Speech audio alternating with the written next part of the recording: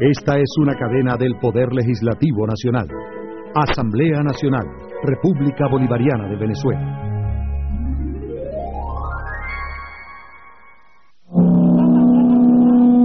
Darle la bienvenida a los diferentes sectores de estudiantes que se encuentran presentes en esta Asamblea Nacional. A través de ustedes, estudiantes universitarios, nosotros los diputados y diputadas de esta Asamblea Nacional queremos también enviarle un saludo a todos los estudiantes de Venezuela, a los estudiantes de educación superior, a los estudiantes de educación media, a los estudiantes de educación básica de las diferentes escuelas, instituciones públicas y privadas. Nosotros queremos mandarle un saludo a los estudiantes de las misiones Rivas, Sucre y muy especialmente desde esta asamblea y a través de ustedes, estudiantes universitarios, queremos enviarle un saludo a los estudiantes de la misión Robinson. Y queremos saludar a los más de un millón quinientos mil hombres y mujeres que a través de la misión Robinson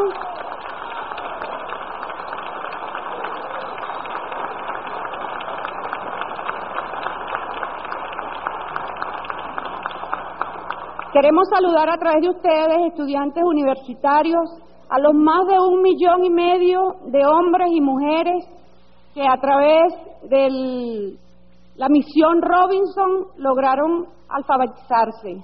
Más de un millón y medio de hombres y mujeres aprendieron a leer y a escribir y según sus propios dichos salieron de las tinieblas. Y ahora están incorporados al sistema educativo. Lograron incorporarse al sistema educativo, lo que los hace ejercer, y a través de este medio pueden ejercer con mayor amplitud lo que son sus derechos, lo que son sus libertades, pueden acceder con mayor amplitud a la información y pueden expresarse con mayor amplitud. Entonces, a ellos, a esos hombres y mujeres que fueron excluidos de siempre y que ahora afortunadamente y gracias a un gobierno revolucionario, logran estar estudiando en un sistema regular. Nosotros a ellos los saludamos, los felicitamos y los exhortamos para que continúen forjándose y trabajando y estudiando como lo han hecho hasta este momento. Nosotros hoy estamos aquí celebrando una sesión que es histórica. Nosotros tenemos aquí a un grupo de estudiantes universitarios que han solicitado el derecho de palabra a esta Asamblea Nacional, a este Poder Legislativo. Diferentes corrientes de pensamiento, diferentes manifestaciones que hemos visto en las calles en los últimos días. Paradójicamente, en un mensaje de exigencias de libertad de expresión, y expresándose libremente en las calles, avenidas y a través de todos los medios de comunicación, a través de los medios de comunicación televisivos, prensa, radio, primeras páginas, y son los estudiantes viviendo libertad de expresión y expresándose. Y aquí nosotros en esta Asamblea Nacional, que es un escenario en donde hemos abierto las puertas para todos los sectores. Aquí nosotros desde esta tribuna, en donde hemos, hemos escuchado a hombres y mujeres, trabajadores, trabajadoras, campesinos, indígenas, mujeres, jóvenes, adultos mayores, a personas con discapacidad. Los vamos a escuchar hoy a ustedes, a los estudiantes universitarios, que, que traen diferentes planteamientos. Es un hecho inédito.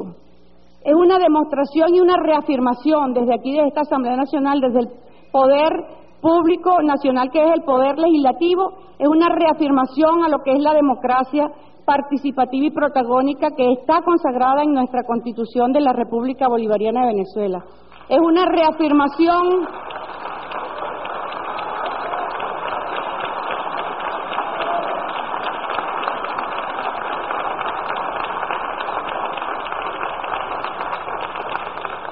Es una reafirmación a las libertades, es una reafirmación precisamente a la libertad de expresión de la cual eh, va a ser un tema principal en los derechos de palabra que se van a conceder hoy. Por tal razón y por la importancia que tiene este debate, por cuanto nosotros queremos escuchar a los estudiantes universitarios que han estado en las calles y en los medios, queremos escuchar sus, sus ideas, queremos escuchar los argumentos, y no solo nosotros, el pueblo quiere escuchar los argumentos, queremos escuchar las ideas, y este es el mejor escenario para este debate, un debate de ideas. Por eso nosotros le damos la bienvenida y por esa importancia, por lo inédito e histórico que, representa esta sesión especial, nosotros estamos transmitiendo y vamos a transmitir todo el debate en cadena nacional de radio y televisión.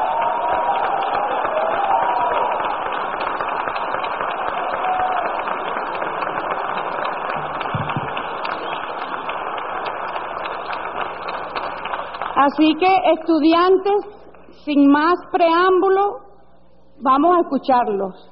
Bienvenidos nuevamente y que el pueblo escuche de boca de ustedes sus argumentos. Vamos a escuchar los diferentes planteamientos, las diferentes corrientes y después cada quien sacará sus propias conclusiones. Vamos a concederle el derecho de palabra al estudiante Douglas Barrios. Él es estudiante de la Universidad Metropolitana, estudia economía y es el representante Él es representante del Consejo de Estudiantes de Economía ante el Consejo de Estudiantes Universitarios de la Universidad Metropolitana. Tiene la palabra. Muchas gracias. Señores parlamentarios, padres, hermanos, compañeros y todo aquel que pueda estar escuchando estas líneas. El día de hoy nos dirigimos a ustedes, pues se nos ha consignado la responsabilidad de tratar de recoger el sentir y el pensar de la juventud venezolana dentro de esta coyuntura sociopolítica. Se nos ha dado la oportunidad de reivindicar ante esta Asamblea y ante el país la razón de ser de nuestra propuesta. Una tarea enorme y compleja, pero la cual asumimos con gusto, pues consideramos necesaria la labor de hacer llegar el mensaje de nuestra lucha de una manera clara y entendible a quien desee escucharlo. En primera instancia, quisiéramos extender nuestras más sinceras felicitaciones a todos los estudiantes venezolanos, pues por vez primera hemos conquistado una voz disidente y plural en esta Asamblea Nacional. Esto gracias a nuestra lucha constante, férrea y pacífica. Sintámonos orgullosos. Vencimos. Empezamos a hacer historia. Nos encontramos en esta tribuna para manifestar nuestro repudio al cierre arbitrario de RCTV, a la criminalización con la cual se ha pretendido manchar la protesta estudiantil, a los insultos que hemos recibido en este mismo hemiciclo todos los estudiantes y a las violaciones sistemáticas de nuestros derechos fundamentales. Hoy, los universitarios no vinimos a esta palestra pública a debatir. La agenda del movimiento estudiantil solo la define el movimiento estudiantil. Hoy vinimos aquí a reivindicar los derechos civiles. No se equivoquen, el debate entre los universitarios y de los universitarios para con el país, sin duda alguna, se llevará a cabo. Pero el debate entre los universitarios se debe llevar a cabo en las universidades, en las calles, en los barrios, en los pueblos del país el debate entre los universitarios y de los universitarios se debe llevar a cabo con una agenda de discusión clara y de conocimiento público. El debate de los universitarios se debe llevar a cabo bajo reglas que sean de pleno conocimiento entre los participantes. Se debe llevar a cabo bajo una moderación imparcial. En fin, el debate entre los universitarios se debe llevar a cabo de una manera tal que refleje nuestras condiciones propias de estudiantes es decir, de manera organizada, planificada, inteligente, justa y de iniciativa propia. También quisiéramos aclarar que no venimos aquí a exponer nuestras tendencias políticas ni nuestro proyecto de país, simplemente porque como colectivo aún estamos construyéndolo. Esto no quiere decir que los estudiantes que nos encontramos en desacuerdo con lo que está ocurriendo hoy por hoy en el país no poseamos un pensamiento crítico y analítico, ni que seamos incapaces de generar propuestas. La realidad es que nosotros no formamos parte de un sistema ideológico único ni poseemos una línea de pensamiento única. Es por eso que decimos hoy, ante la Asamblea y ante el país, que el debate y el diálogo y la discusión seria se le abrieron las puertas el día de hoy. Y es dentro de este marco plural de ideas que nosotros presentamos que emerge una visión común, una visión de libertad y democracia. Una visión común que, según nosotros, define a los estudiantes. Una visión común, según nosotros, en la cual los estudiantes no somos socialistas, somos seres sociales. Los estudiantes no somos neoliberales, somos seres libres. Los estudiantes no hacemos oposición, nosotros hacemos proposición. Nosotros no pretendemos pasar a formar parte de la mitología popular, ni que nuestra imagen adorne paredes de universidades y camisetas de jóvenes estudiantes. Tampoco pretendemos adornar las páginas de los libros de texto que son hojeados por los bachilleres a lo largo y ancho del territorio nacional, ni que una fastuosa autopista lleve nuestro nombre. No deseamos ser un pudo haber sido ni un lástima que fue. Deseamos ser algo más, un es y un será. Nosotros, como miembros del futuro de este país, tenemos la obligación moral de velar por el presente. Tenemos la obligación moral de labrar dicho futuro. Tenemos la obligación moral de no bajar la guardia nunca, pues es nuestra responsabilidad. Pues nuestra, esa responsabilidad no es solo con nosotros mismos, es con quienes nos anteceden, es con quienes nos sustituirán, es con quienes hoy por hoy nos acompañan haciendo vida en este país. Y defraudarlos sería cobarde, y defraudarlos sería patria, y defraudarlos no es una opción. Es por eso que la juventud está hoy en la calle. No estamos luchando por los intereses de un grupo empresarial, no estamos luchando en nombre de intereses internacionales, no estamos luchando a favor de una tendencia política. En todo caso, estamos en la calle haciendo política sin los políticos tradicionales. Estamos fraguando una lucha cotidiana en nombre de nuestra nación y salvaguardando los intereses de una sociedad entera. En un principio, nuestra movilización nace en respuesta a la medida tomada de manera injusta contra RCTV. Nuestras acciones de calle responden a la amenaza a la libertad de expresión que esta medida representa. Responden al vacío y a la nostalgia que se siente en los hogares de los venezolanos. Responde a la apropiación indebida de las antenas de transmisión de RCTV. Responde a la realidad que enfrentan 3.000 trabajadores cuyo sustento está en riesgo y con los cuales somos absolutamente solidarios. La bandera de RCTV la mantendremos hasta que la señal del Canal 2 vuelva a su legítima frecuencia. Más aún, a lo largo del camino nos hemos dado cuenta que nuestra responsabilidad para con el país va más allá.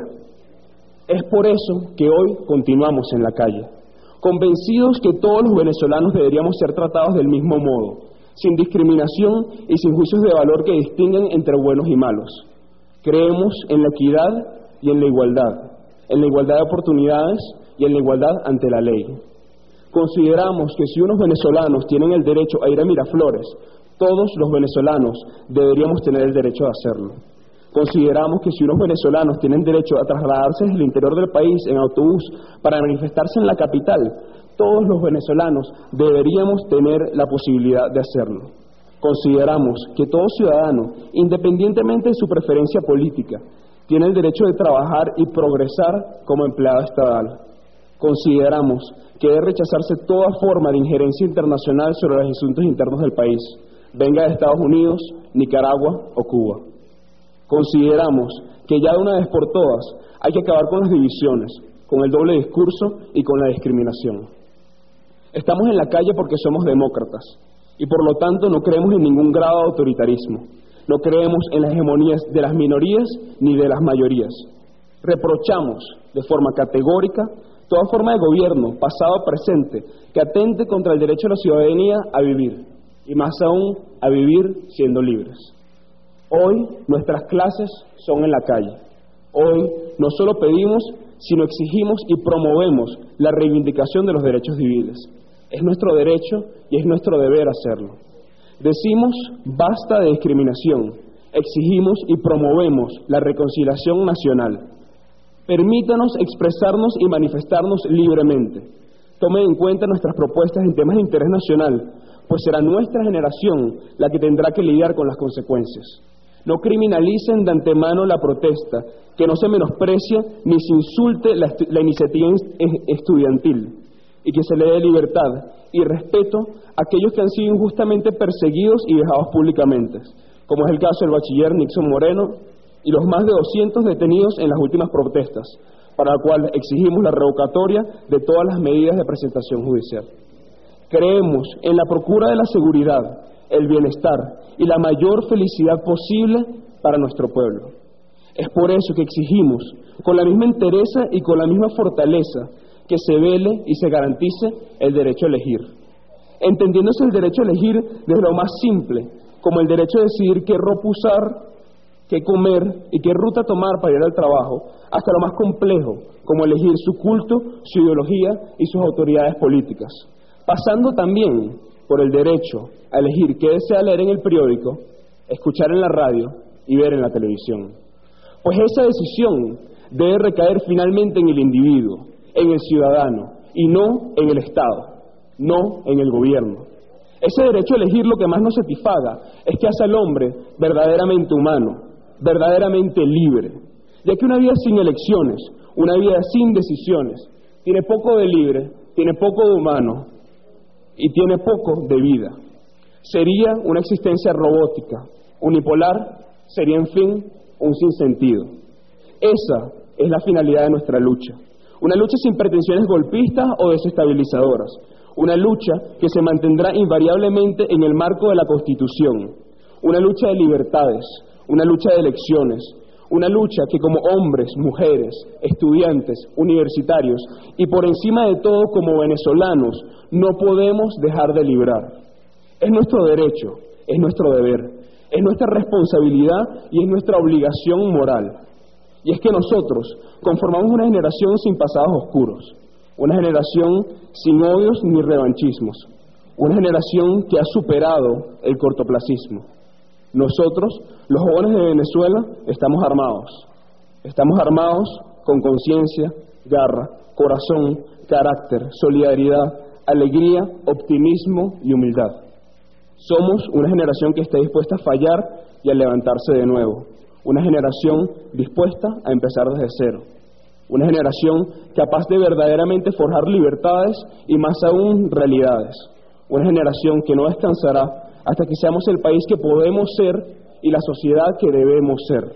Una generación que luchará hoy, mañana y siempre por ser libres y verdaderamente humanistas. Soñamos con un país donde podamos ser tomados en cuenta sin tener que estar uniformados. Sin más nada que decir, nos retiramos por ahora. Gracias al estudiante Douglas Barrios. Tiene la palabra la estudiante Adriana Tarazona, estudiante de la Universidad Central de Venezuela.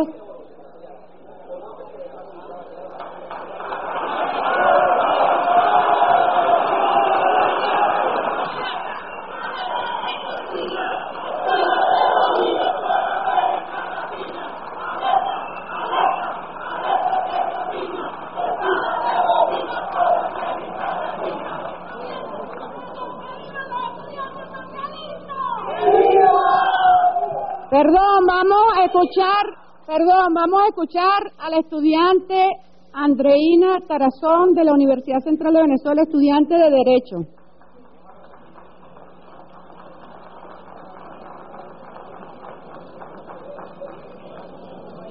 Se le agradece a los estudiantes tomar asiento para que escuchen a los estudiantes universitarios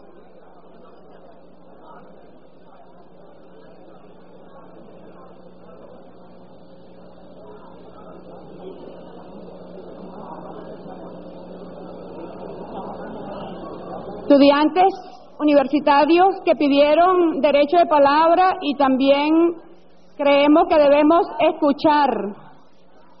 Podemos hablar y también tenemos el deber de escuchar.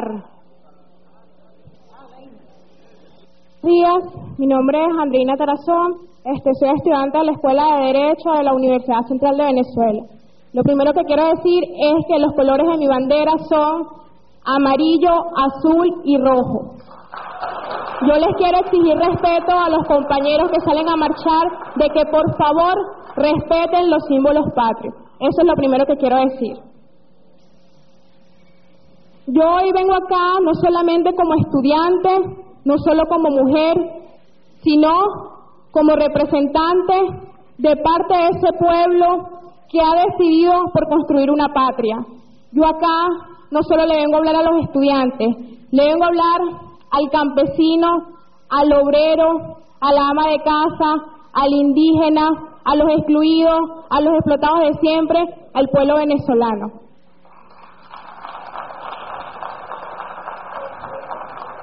Yo quiero expresar que mayor libertad de expresión de la que hoy estamos viviendo acá dentro del Parlamento venezolano no puede existir en, país alguno. Esto hay que recalcarlo. Yo le quiero responder algunas de las cosas que dijo el compañero que me antecedió. Yo creo que un verdadero demócrata no restringe la discusión y el debate a espacios físicos. Un verdadero demócrata debate donde sea, cuando sea y con quien sea. Yo también le quiero decir a los compañeros que cuando hablamos de, del señor Nixon Moreno, yo como venezolana, como mujer, me siento indignada, porque recordemos que este señor está siendo acusado por intento de violación. Esto no lo tenemos que olvidar, porque aquí se pretende diluir lo que es una, una lucha estudiantil con un hecho punible, con un delito penal. Esto hay que recalcarlo. Yo quiero iniciar mi, mi intervención hablando de lo que es la democracia, porque aquí se tienen dos concepciones de democracia, por ende, dos concepciones de sociedad, dos concepciones de vida. Históricamente, los pueblos latinoamericanos y el venezolano estuvo acostumbrado a un modelo de democracia liberal burguesa, donde la minoría decidía sobre la mayoría, donde los grupos empresariales, los grupos financieros, los dueños de los medios de comunicación privada decidían e imponían a la mayoría del pueblo venezolano excluido y explotado históricamente. El pueblo venezolano se ha dado la tarea, desde que inicia el proceso revolucionario, a cambiar con este paradigma de democracia. Hoy en día se incluye una democracia participativa, donde todos tenemos el derecho de participar, indígenas, estudiantes, obreros, todos sin exclusión. Aquí se trata de un modelo de sociedad donde dirige la clase explotadora o donde dirige la clase que históricamente ha sido explotada. Esto hay que traerlo a colación. Y el modelo de democracia que estamos impulsando el pueblo venezolano es una democracia donde todos nos sentimos incluidos, donde son los obreros quienes toman las decisiones en las fábricas, donde deberían ser los estudiantes los que tomen las decisiones en las universidades, donde es la comunidad quien toma las decisiones y ejemplo de ello son los consejos comunales. Yo quiero invitar a los compañeros que se encuentran acá que defienden la libertad de expresión y la democracia, que vayan a un consejo comunal, que vayan a las barriadas de, Caracas, que vayan al interior del país para que vean qué hermoso, qué hermoso es el poder popular. Eso sí es democracia.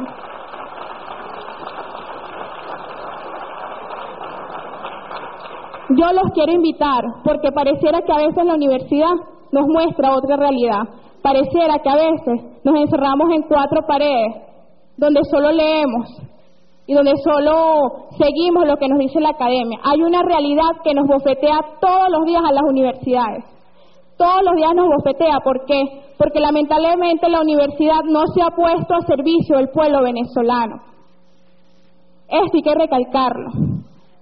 Entonces, compañeros, yo los invito a que construyamos patria, a que construyamos democracia, democracia de las mayorías, donde las mayorías deciden, que no significa que se van a eliminar las minorías, pero en una verdadera democracia las mayorías deciden. Y aquí lo hemos reiterado en ocho años. Aquí las mayorías son las que han decidido. Y yo le pido respeto a aquel sector de la población que no pretende respetar lo constitucional, que respete a la mayoría del pueblo venezolano, que se ha decidido por construir patria, por construir un nuevo modelo de sociedad, una sociedad de iguales, una sociedad de justicia, de equidad social. En estos dos modelos de democracia también se tocan elementos muy importantes como es el, el, el elemento comunicacional, ¿no? En una democracia representativa, quienes poseen el dominio y decisión sobre los medios de comunicación son las grandes empresas privadas. Son los dueños de los medios de comunicación, donde el indígena, el obrero, la mujer chiquita, la mujer morena, el hombre que no cumple con todo el estereotipo de belleza impuesto por el capitalismo no puede salir y no tiene voz. En ese modelo de, comunicación es donde verdaderamente se impone una dictadura a las mayorías nacionales. Y hoy en día el pueblo venezolano se ha la tarea de transformar esta realidad, donde todos podamos mostrar nuestras caras, así seamos chiquitos, indígenas, gorditos, pero somos venezolanos y tenemos una cultura que mostrar.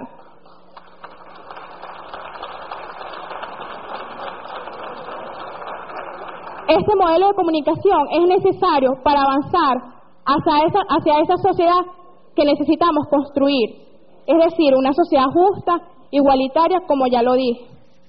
Este modelo de comunicación privada no es más que un modelo de reproducción ideológica del capitalismo, con todos sus antivalores, de individualismo, de mercantilismo de la mujer. Eso lo tengo que decir. Yo no puedo creer que salgan actrices a llorar porque ya no pueden seguir mercantilizando su cuerpo en un medio de comunicación. Porque la mujer no es una mercancía, es un ser humano tan igual como el hombre.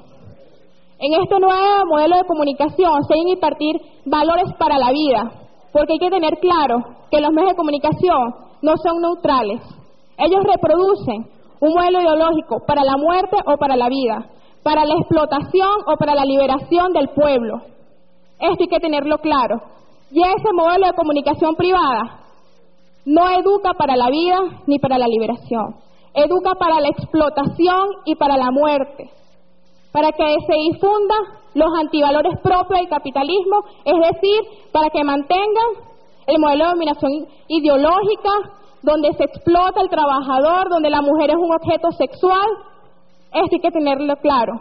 Y donde también, también se establece y se pretende este, mantener el status quo económico y financiero. Los medios de comunicación están desligados del poder económico. Esto hay que tenerlo claro. Y cuando se tocan los intereses de un medio de comunicación, se están tocando intereses económicos. Esto hay que tenerlo muy claro. En cuanto al tema de la libertad de expresión, yo le quiero pedir a los compañeros que han marchado por la libertad de expresión que por favor esclarezcan varios conceptos, porque me parece que los tienen un poco confusos. Yo quiero que ellos me diferencien lo que es libertad de expresión, libertad de prensa y libertad de empresa, porque pareciera que estuvieran difusos estos conceptos. Mi libertad como ciudadano no me restringe a un medio de comunicación, o yo no me puedo sentir identificado con lo que yo sienta como ideales, con lo que dice el dueño de un medio de comunicación. Una cosa es la libertad de empresa que tiene el señor Marcel Granier, y una cosa es el derecho que tiene el pueblo venezolano a expresarse por medio de los medios de comunicación, a expresar su cultura, a expresar su idoneidad, a expresar su sentir y sus ganas de seguir adelante. A mí me parece que los compañeros tendrían que esclarecer estos tres conceptos porque pareciera que estuvieran difusos. Yo con todo esto también le quiero hacer un llamado a los jóvenes venezolanos, a los estudiantes. Yo los quiero llamar a que cerremos filas. Esto es un, esto es un momento de decisión. Aquí estamos con el pueblo venezolano que ha decidido por una patria o estamos en contra de la decisión de la mayoría del pueblo venezolano. Aquí estamos a favor de las luchas de un pueblo que ha derramado sangre por construir un poder popular, que ha derramado sangre por, por poder tener injerencia entre los medios de comunicación, o estamos a favor de los explotadores de toda la vida del pueblo venezolano, o estamos a favor del imperialismo norteamericano.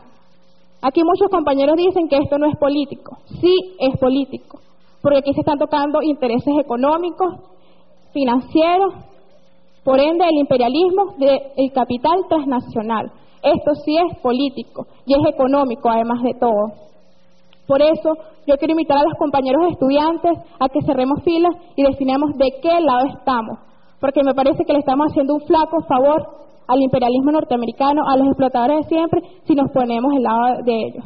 Pero yo estoy segura que los jóvenes venezolanos, los estudiantes, vamos a proseguir las luchas de Simón Bolívar, las luchas de Sucre, las luchas de José Félix Rivas, vamos a proseguir las luchas de todos esos estudiantes que cayeron a las puertas de las universidades en este país, que soñaron por una patria libre y bonita. Yo estoy segura que la mayoría de los estudiantes nos vamos a poner del lado del pueblo, como siempre lo hemos hecho. El movimiento estudiantil siempre se ha puesto del lado del pueblo y me parece que hoy sería una traición a nuestros propios ideales como estudiantes ponernos del lado de la burguesía y del imperialismo norteamericano. Mi llamado es a los jóvenes venezolanos para que de verdad salgamos a la calle a defender los intereses del pueblo, los intereses de los excluidos de siempre, de los explotados, que lebramos la universidad al pueblo, que la universidad se pinte de negro, de mulato, de obrero. Mi llamado es a los jóvenes venezolanos para que construyamos patria. Gracias, compañero.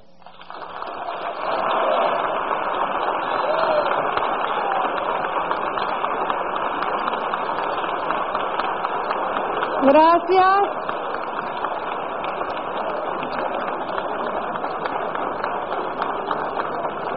Tiene la palabra el estudiante John Huaycochea, estudiante de Derecho de la Universidad Católica Andrés Bello.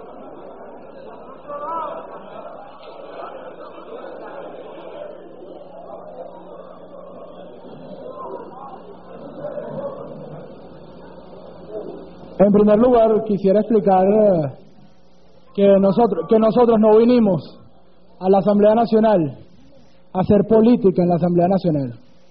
Por esa razón, nosotros hemos expresado un turno de orador y hemos escuchado a un turno de orador. Vinimos a expresar una idea clara que tiene el movimiento estudiantil venezolano, la idea de la reconciliación nacional. No vinimos aquí a jugar a ser políticos, porque somos estudiantes. Vinimos aquí a tender nuestra mano al pueblo de Venezuela, tender nuestra mano a la reconciliación nacional. Es por eso que habiendo hablado una vez y habiendo escuchado una vez, nos retiramos y abrimos el debate, no en esta asamblea, sino en el pueblo de Venezuela, en las universidades y en cualquier espacio. Muchas gracias.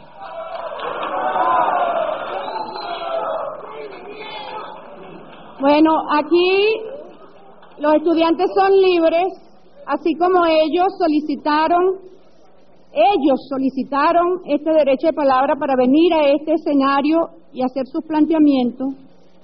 Así ellos en este momento deciden retirarse, no tendrán más nada que decir. ¿Cómo podemos nosotros no pensar que es que no tienen más nada que decir?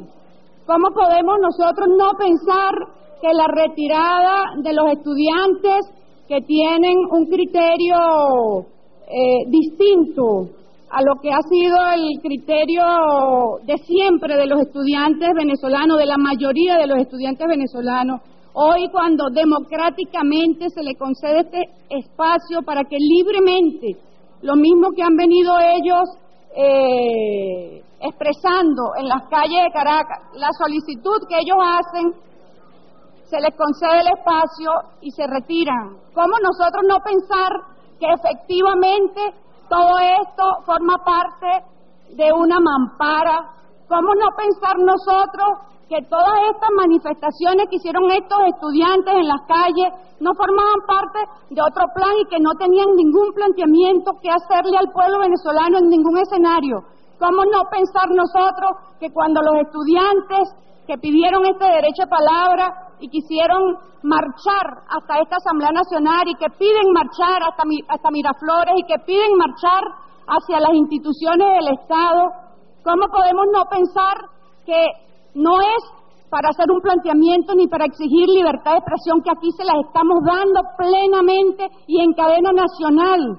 Entonces, como lo pidieron ellos mismos, entonces, ¿cómo no pensar que es cierto que detrás de todas estas manifestaciones y de todas estas expresiones hay un plan, un plan macabro, un plan nefasto, un plan en donde los mismos políticos, ellos aquí dicen que no son políticos, pero en donde vemos que efectivamente, ¿cómo no pensar que detrás de ellos están los políticos de siempre, los fascistas, la ultraderecha, los que han tratado de desestabilizar la democracia venezolana? ¿Cómo no pensar nosotros que la pretensión de ellos es venir a la Asamblea Nacional e ir a Miraflores para seguir desestabilizando? La conducta de estos estudiantes universitarios que solicitaron un derecho de palabra y se retiran deja mucho que pensar los deja muy mal parados. Nosotros podemos pensar con esta actitud que han asumido estos estudiantes que ellos no decidieron y nos hace recordar tanto a escenarios que vivimos nosotros, a episodios que vivimos nosotros en esta Asamblea Nacional, en donde una oposición tomaba aquí decisión de participar en un debate, tomaban la decisión de llegar a acuerdos y después recibían la llamada para que se retiraran. Es lo mismo que hemos visto, la misma conducta de los sectores de opositores que estuvieron en esta Asamblea Nacional y que trataban de torpedear y sabotear el trabajo, es lo mismo que estamos viendo. Entonces, nosotros desde este momento tenemos que decirlo públicamente y que el país lo sepa. Estos estudiantes hicieron una marcha dieron una cantidad de expresiones en cuanto a la libertad de expresión, pedían libertad de expresión y querían marchar en masas. Y entonces cuando se les concede, se retiran. Entonces es la, es la autocensura. Es la autocensura. Es que se imponen. Ya vamos a continuar nosotros continuamos, se retira un sector, sin embargo aquí están los estudiantes, aquí nosotros con todo el respeto, con todo el respeto, desde la Asamblea Nacional, por cuanto, perdón, silencio, por cuanto aquí verdaderamente hay libertad hay libertad de expresarse y el que no se quiere expresar, que no se exprese, pero aquí tenemos un grupo de estudiantes que vinieron a plantear sus argumentos, a hacer sus exposiciones y a ellos escucharemos. Es por eso que en este momento le vamos a conceder el derecho a palabra al diputado, al estudiante Robert Serra, estudiante de Derecho de la Universidad Católica Andrés Bello. Bueno, muchas gracias a la, a la ciudadana presidenta, diputada Silvia Flores. Saludos desde acá a todos los diputados. Y no se equivocó, futuro, aquí está el futuro de este país. Y futuramente estaremos acá representando. Esta juventud es la garantía de la revolución. Más allá del 2021, duela a quien le duela. Bueno, diputada, eh, al pueblo que nos escucha, yo traía algunas cosas preparadas, ¿no? Que quería decir, que me parece importante comentar, pero producto de la actitud poco democrática de este sector que hoy se presentó acá, yo debo redireccionar lo que venía a decir. Primero, bueno, ya está, pues no hace falta demostrar nada. Eh, ya sabemos de qué democracia le están hablando al país. Ya sabemos qué democracia defienden. Como decimos los estudiantes de Derecho, abogados, profesores Carrá, a confesión de parte, relevo de pruebas. Ellos no quieren democracia, no les gusta el debate, le tienen miedo, compadre. Y eso lo han demostrado acá. Casualidad, que se parece a la misma actitud que tuvo su vocera en la OEA con Doleza Rice. Que entonces ella va, ella pide el espacio, porque además eso no estaba previsto para discutirlo en la OEA, el caso de Venezuela. Entonces ella va, arma un alboroto, pero cuando los pueblos del mundo se levantan, cuando le decimos la verdad es en la cara y le hablamos con hechos, huyen por la derecha, corren como con este sector. Cualquier parecido con la realidad es mera coincidencia. Hoy este sector se levanta y se va y no quiere darnos el debate. Lo primero que hicimos como sectores democráticos, bueno, yo me puse de pie y le, entregué, le entregamos, como vieron, y eso es importante que los medios lo reseñen. Bueno, un grupo de medios salió detrás de ellos. Eso es parte también, pues, de lo que aquí debemos decir. La bandera nacional. La bandera nacional en el perfecto orden. Y le dijimos entre Héctor Rodríguez y mi persona, le dijimos, Compadre, lleven con orgullo esta bandera que le entregamos y levántenla. Levántenla como debe ser y como siempre se ha levantado. Como la levantó Bolívar para independizar más de cinco países. Como se ha, como se ha levantado gracias a la reivindicación deportiva en este gobierno, más allá de muchos estados, y como la levantaremos el 26 de junio en la Copa América en este país. Eso se lo dijimos a ellos para que lleven ese mensaje. Eso se lo dijimos. Ahora bien, diputada, yo me permito extraer algunas cosas que copié acá. Ah, lo primero que quiero decir es lo siguiente a estos compañeros que están acá, que defienden los derechos civiles, ya que tenemos defensores gratis. Bueno, compañeros, yo quiero verlos luego defendiendo el derecho que yo tengo. Por ejemplo, fíjense ustedes, en la Universidad Católica Andrés Bello, donde yo estudio, que mi matrícula excede de los 4.500.000 bolívares anuales. Ahí la semana pasada no hubo clase. Ah, porque no le dio la gana. Porque los profesores no quisieron ir. Bueno, yo los invito a que defiendan mi derecho al reembolso de esas clases que no me dieron. Miren, la matrícula por mes, diputada, es de 472 mil bolívares. Si fue una semana y el mes tiene cuatro semanas, me deben el 25%, que es un total de, eh, 141.600. Pero supongamos que el sábado y el domingo yo igualito no iba para clase. Me deben, compadre, por lo menos 78.666 bolívares que a mis padres le cuesta pagar en esa católica. Eso es importante, que ellos que defienden los derechos de todo el mundo, defiendan los derechos nuestros también. Porque entonces hay democracia para unos pero ellos llegan y se disponen sobre este, las puertas y obligan a los estudiantes a no poder accesar a un servicio que es público y que además este que además nosotros cancelamos pues ellos nos decían este hoy no vinimos me decía el muchacho hoy no vinimos a debatir vinimos a reivindicar a los estudiantes en las calles y en los barrios miren mayor garantía de libertad de expresión que esta imposible están en cadena nacional se les está dando un espacio. Ellos me decían ahorita, no, Robert, vamos a la academia. Ah, pero ¿qué pasa? Que tienen un doble discurso. Porque cuando nosotros estamos en la academia, nos dicen, no, vamos a Miraflores. Cuando estamos entonces en otro espacio, ahora quieren un poder público nacional, que esto además habla de la poca seriedad de estos sectores, y eso es importante que lo sepamos. ¿Cómo es posible que ellos le pidan un derecho de palabra al cuerpo legislativo del país, donde hay un país que los está esperando, que quiere escuchar su propuesta, que además después dijo, los estudiantes no somos de oposición, somos de proposición. Y esa es la propuesta que le van a dar al país. ¿Creen ustedes que eso es lo que está esperando el país de ustedes? ¿Eso creen ustedes que es una propuesta, compañeros? Yo les hago un llamado a la reflexión. Yo de verdad les hago un llamado sincero a la reflexión. Entonces, decían que este, en reglas claras y este, en una mediación imparcial. Bueno, eso habría que verlo. Yo de verdad quiero reivindicar acá, por ejemplo, y se lo decía ahorita el profesor Carlos Escarrá, cuando entré en el aula magna de la Universidad Católica hace unos días, se levantaron estudiantes. Eso es importante que esta asamblea lo repudie, porque ellos vienen para acá a pedir la reivindicación de algunos parlamentarios. Bueno, que esta asamblea repudie, por ejemplo, los hechos de estos estudiantes que se levantaron solicitando que sacáramos a punta de pitas y de groserías y de falta de respeto al profesor Carlos Escarrá, quien va a cumplir con una misión y quien sí va a dar clases, para lo cual se comprometió con la Universidad Católica Andrés Bello. Eso es importante que nosotros los estudiantes lo repudiemos. No puede seguir habiendo en las calles venezolanas doble discurso. No debería haberlo. Entonces nos hablan y nos quieren hacer creer, este, diputados y, pueblo en general, que tienen y defienden las banderas de la democracia.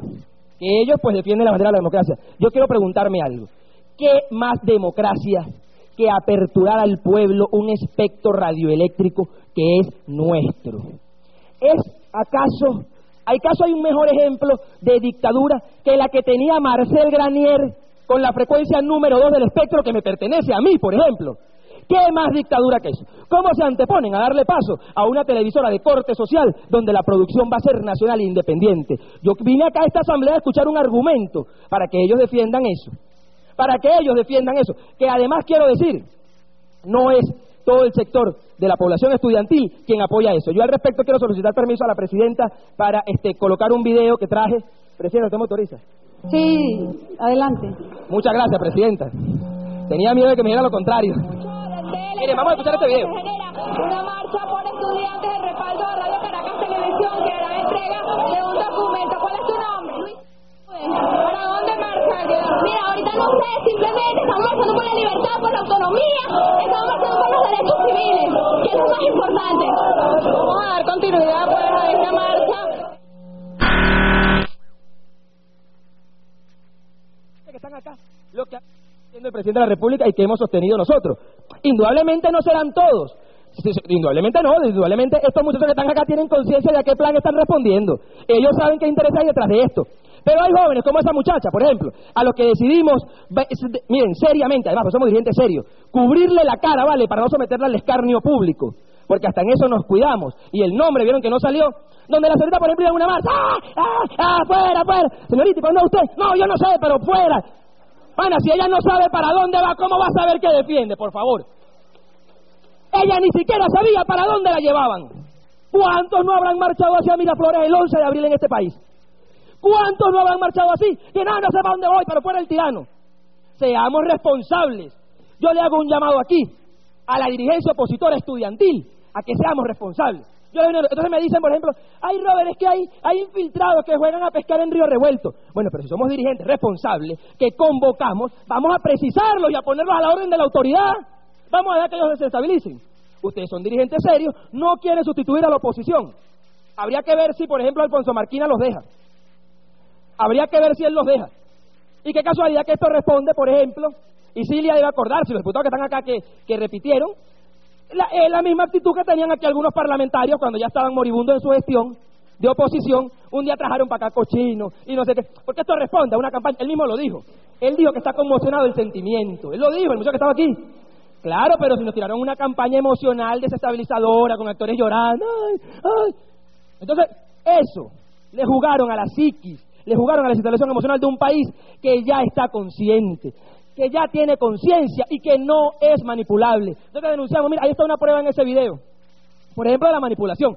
Ella no sabía para dónde iba, para dónde la llevaban. Pobrecita esa muchacha, mire, su mamá debería estar más pendiente de eso. Ella no sabía para dónde iba ni para dónde la llevaban. Pero lo importante es que estaba defendiendo algo que tampoco definió muy bien. Eso es algo que debemos preocuparnos. Entonces luego nos dicen acá en esta misma tribuna, no, nosotros no somos políticos. Nosotros no queremos este, parecernos a la vieja dirigencia de este país. Mira, prevenido el video 2. No, no nos queremos parecer a la dirigencia de este país, a la vieja dirigencia. Entonces, vamos a ver este video 2 para que ustedes vean eh, a quién se parecen ellos. No va a caer, a caer, a caer.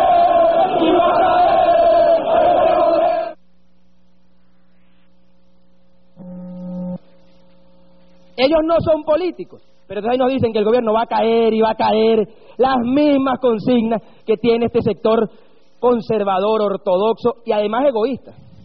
Porque es que ellos pasaron por aquí, administraron este país y demostraron que no sirven.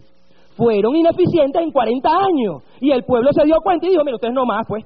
A ustedes casualmente, el pueblo no le renovó la concesión en este país. A ustedes el pueblo le dijo, no siguen gobernando en este país. Entonces, ¿de qué estamos hablando? Entonces luego nos decían este, que ellos tienen la bandera de la democracia, que aquí este, hay dictadura, que no sé qué. Bueno, vamos a escuchar quién, eh, el, el tercer video, estos videos son cortitos y más me queda uno. No sé, para que no se me preocupen. Vamos a escuchar este video y ya les comento de qué se trata. Este es el tercero.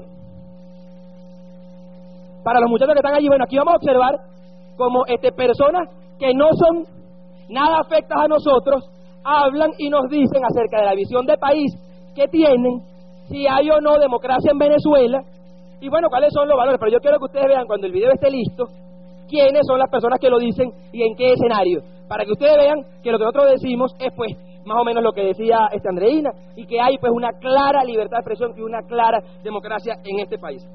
Yo luego de estos dos videos quiero pues hacer un llamado a los estudiantes, un llamado pues a, a que a que estas actitudes no se mantengan. Nos dijeron ahorita que el debate, ellos nos decían que el debate no es en este espacio, bueno, pero es que el debate, el espacio lo cogieron ustedes.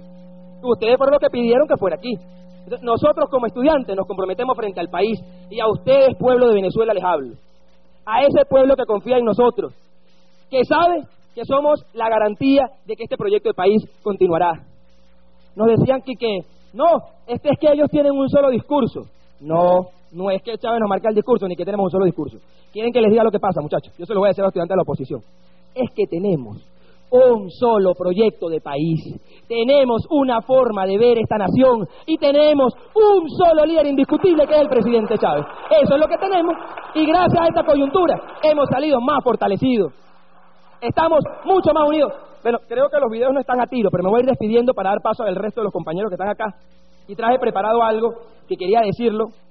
Son unas citas de este. Los videos los pueden pasar después, cualquiera de los muchachos lo puede comentar. Ya se los voy a decir.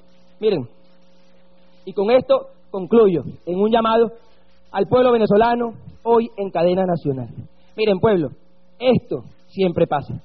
Esto, ya vamos a demostrar seguramente por ahí en las interacciones los demás muchachos, ¿a qué responde esto? Yo solo quise, pues, cerrar este capítulo desagradable, bochornoso ante los medios internacionales que han dejado, pues, estos muchachos hoy acá. Pero bueno, pero esto este, responde a una campaña de conspiración que es permanente y que no cesará. ¿Saben hasta cuándo va a haber conspiración? Hasta que en este país haya revolución. Y como para siempre va a haber revolución, porque esto llegó para quedarse, siempre habrá conspiración y tenemos que estar preparados para combatirla. Bolívar dijo, en su oportunidad, muchachos. Y esto es un llamado al pueblo. Bolívar dijo, Dios concede la victoria a la constancia. Seamos constantes, seamos perseverantes en la lucha. Y luego dijo más adelante, un llamado que le hago a mis compañeros estudiantes, quienes dignamente hoy hemos estado pues trabajando, dando el debate, dando la batalla, aquellos compañeros que están allá, a todos estos compañeros bolivarianos, quienes hemos estado en la lucha, porque ahora estamos más unidos que nunca, más unidos que nunca y más comprometidos nos acompaña la razón, la dignidad y la convicción. Dijo Bolívar en aquel momento, echemos, echemos el miedo a la espalda y salvemos la patria. Bueno, estudiantes, llegó el momento de demostrarlo. Echemos el miedo a la espalda y salvemos esta patria de algunos lacayos que quieren nuevamente interrumpirnos. El camino. Dijo por ahí alguien que caminante no hay camino, se hace camino al andar. Quizá, este maestro Escarrá, el camino no está hecho. Quizá el camino no está hecho. Pero para eso estamos los estudiantes. Porque como dijo Aníbal Barca, si no hay camino, lo encontraremos. Y si en el camino no lo encontramos, lo haremos. Patria, estamos venciendo. Que Dios lo bendiga y muchísimas gracias.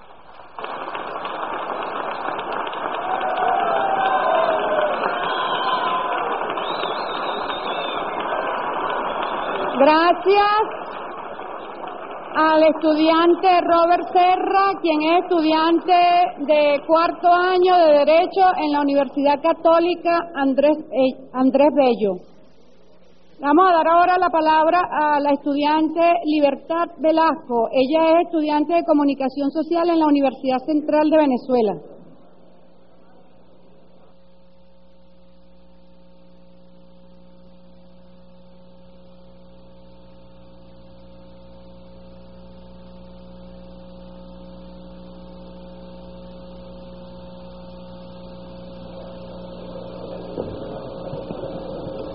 Saludo a todas y todos. Yo primero quiero aclararle a todos los estudiantes de oposición que pueden estarnos viendo a través de la cadena nacional de radio y televisión y a la opinión pública internacional que seguramente va a difundir este mensaje que ellos, los estudiantes que acaban de venir, no representan a nadie sino a ellos mismos. Ellos usaron, entraron acá usando el discurso de la representación, de la representatividad, y ese modelo en Venezuela murió el mismo día que el pueblo venezolano aprobó la constitución bolivariana. Entonces, por ejemplo, yo como estudiante de la Universidad Central de Venezuela no me siento representada por ellos y aquí eso va a quedar claro. Eh, además, eh, una crítica que yo tengo que hacerle a eso que se hace llamar movimiento estudiantil es que vinieron puros hombres, una mujer, y la representatividad de la mujer tiene que hacerse presente incluso en esas luchas en silencio que ellos, que ellos quieren dar.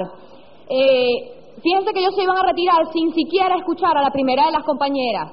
Lo que pasa es que nosotros, el llamado que le hicimos en el momento en que se estaban levantando fue, quédense, quédense porque si no van a hacer lo mismo que hizo Condoleezza Rice en la OEA y se sentaron porque les dio miedo de que los identificaran directamente. Pero ellos se quitaron la careta solos.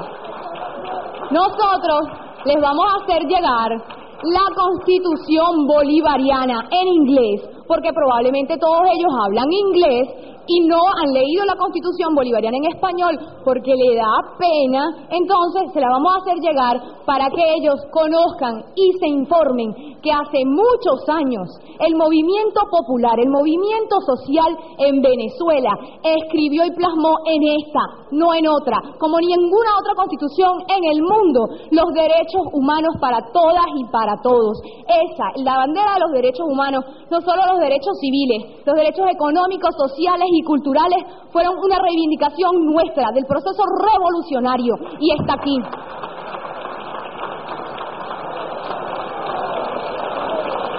En los ocho años que van de revolución, nosotros hemos empezado a dar garantía a los derechos. Tengo una crítica que hacer al discurso que ellos que trajeron, leído. Esos discursos se parecen a los discursos que daban los presidentes de la democracia representativa, que ellos agarraban, traían los discursos para acá y los leían y la gente se aburría y apagaba el televisor porque no había nada de corazón, de alma, de sentimiento ahí adentro. A nosotros, a nosotros nos acompaña el más profundo sentimiento de amor.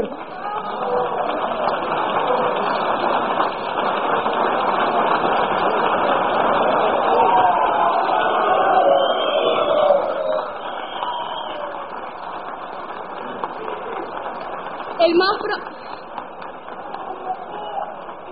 el más profundo sentimiento de amor por un país que en un momento histórico que afortunadamente nosotros tenemos oportunidad de vivir como jóvenes, porque porque la gente se dio cuenta que había que romper con, con ese discurso que el neoliberalismo nos puso a través de sus medios y sus aparatos ideológicos para embrutecernos, para alabar al imperio, al estadounidense, a los pequeños imperios de Europa, para querer ser como ellos y hasta sentirnos avergonzados de nuestras propias identidades. Eso murió. Eso murió y nosotros estamos aquí para decirles que esa minoría que está en las calles defendiendo a la oligarquía venezolana tendría que revisar la historia porque somos estudiantes. Los estudiantes no pueden aparecerse en una tribuna como esta, tan importante a, a desconocer la historia. Hay que decir que ese medio al que se le acabó la concesión, que no fue cierre, entró acá en una dictadura.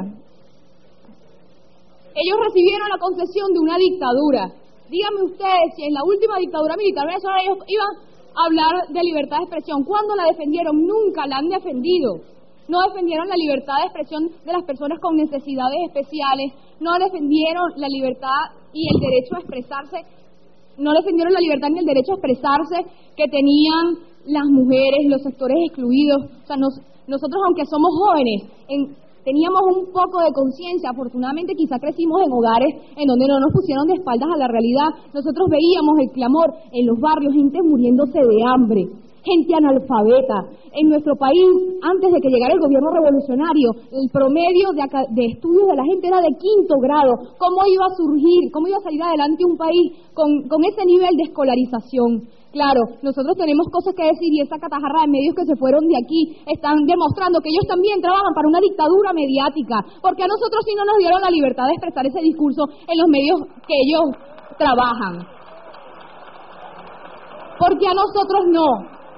Porque a nosotros no. Nosotros sí somos los excluidos de ese paradigma. Y lo demostraron aquí mismo, no solo los estudiantes. Es un plan orquestado eh, en los medios internacionales de Venezuela dicen lo peor y ellos con ese trabajo tampoco dan oportunidad de que uno desmienta eso. Pero ahora ellos le están dando también una cachetada, no solo a los estudiantes de oposición venezolanos, a los estudiantes de América Latina y del resto del mundo. Aquí han dicho que esto es un momento histórico y ciertamente lo es. Estaba dada la oportunidad de un debate estudiantil plural, que los medios pues todavía no se ha televisado un debate entre nosotros. Quiero contarles una experiencia que yo conocí de cerca en Guatemala, el movimiento intercultural de niños y niñas mayas, generadores de un mundo justo, llevan cinco años pidiendo al Congreso que los escuche, porque ellos allá no tienen ni derechos, no son reconocidos como ciudadanos. La Constitución de, la República Bolivariana de Venezuela es la única que reconoce al niño, niña y adolescente como ciudadano aunque no vote y que le da los mismos derechos y más que a los adultos. A ellos allá nosotros les decimos que todos los estudiantes no somos iguales. Y aquí que hemos trabajado por la inclusión, le decimos al mundo entero que este mensaje tiene que ser un ejemplo para que ellos defiendan y se mantengan, porque en algún momento la libertad, la democracia y los derechos y la igualdad van a llegar a cada rincón de América Latina porque ese es nuestro único destino posible. No tenemos otro sino libertarnos de esas cadenas que nos impusieron a todos Estados Unidos, Europa y el resto.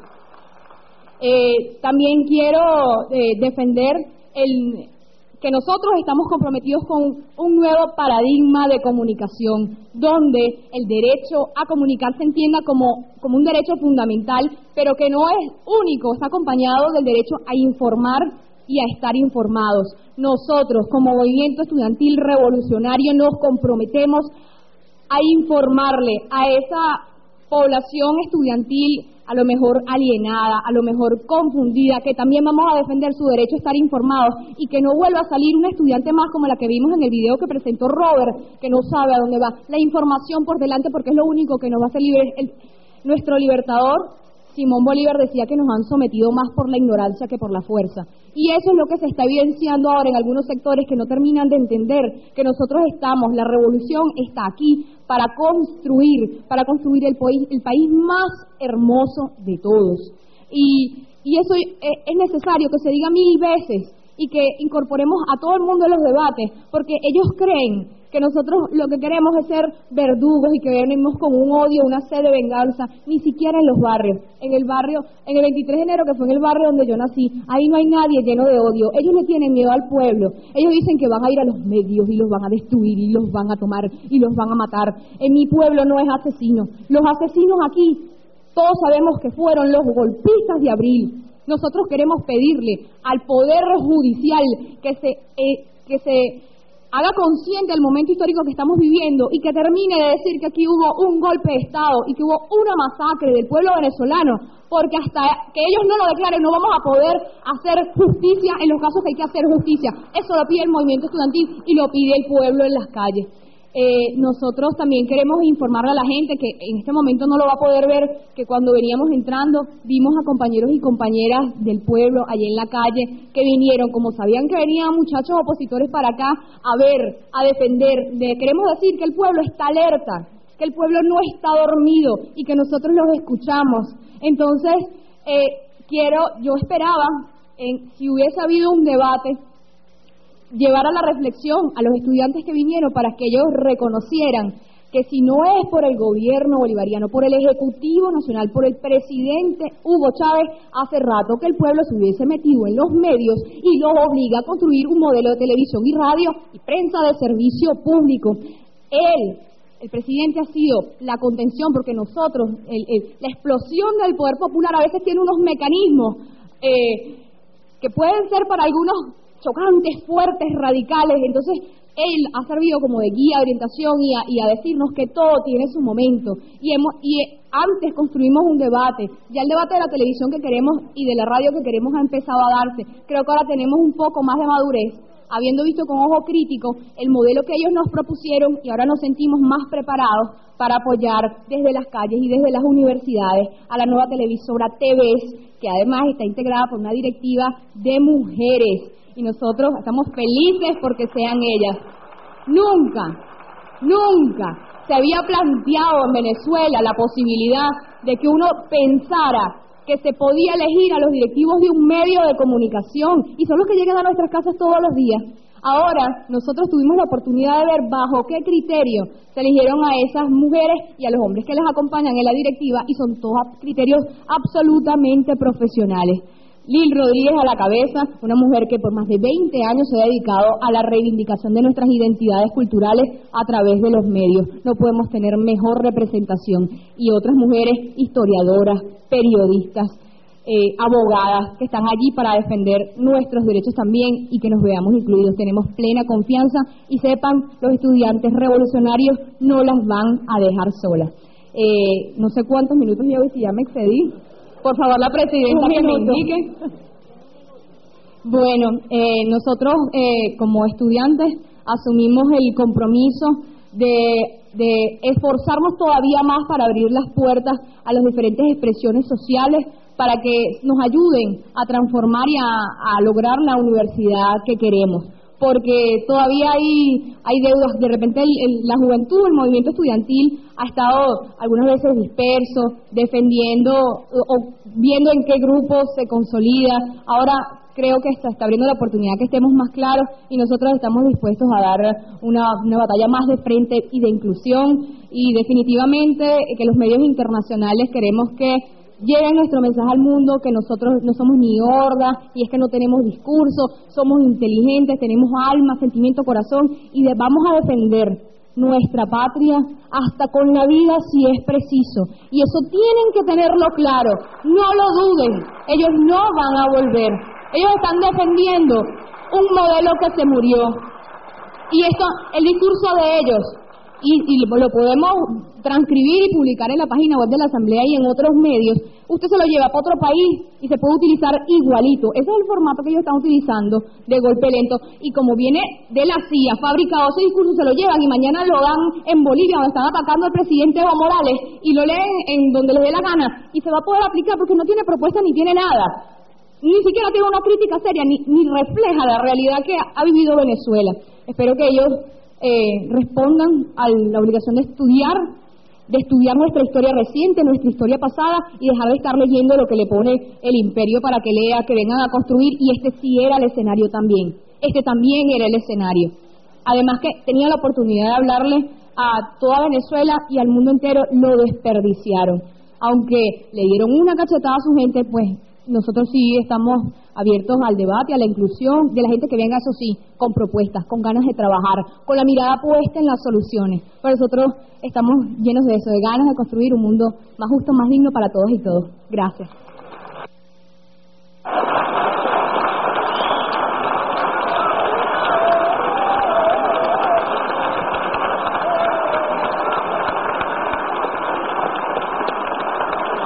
Gracias a la estudiante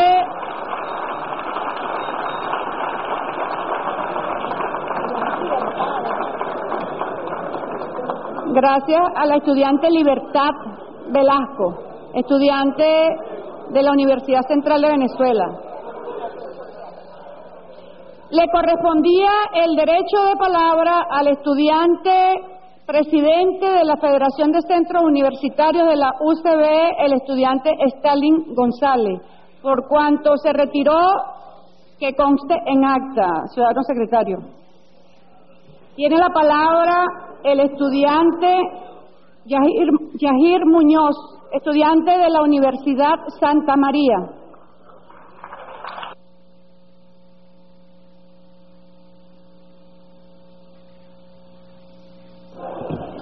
Ok, buenas tardes, ciudadana presidenta, y buenas tardes, ciudadanos diputados. Buenas tardes, Venezuela.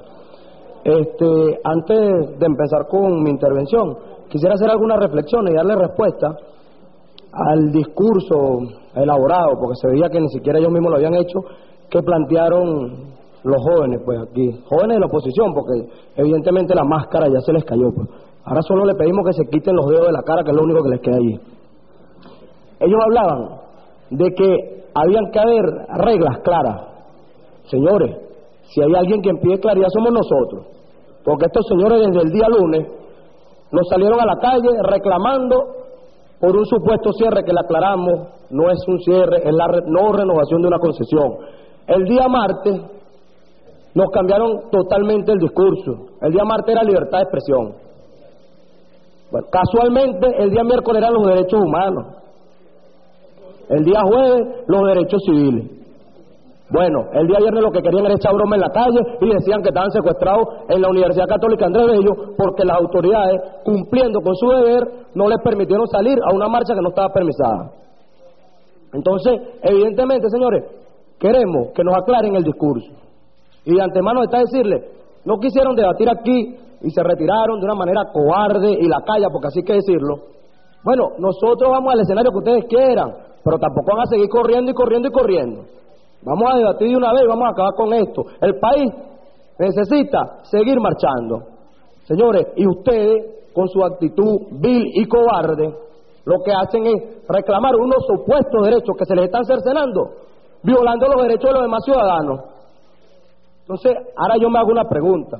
¿Será que la constitución que estos ciudadanos tienen están mal elaborada o, o no fueron bien impresas?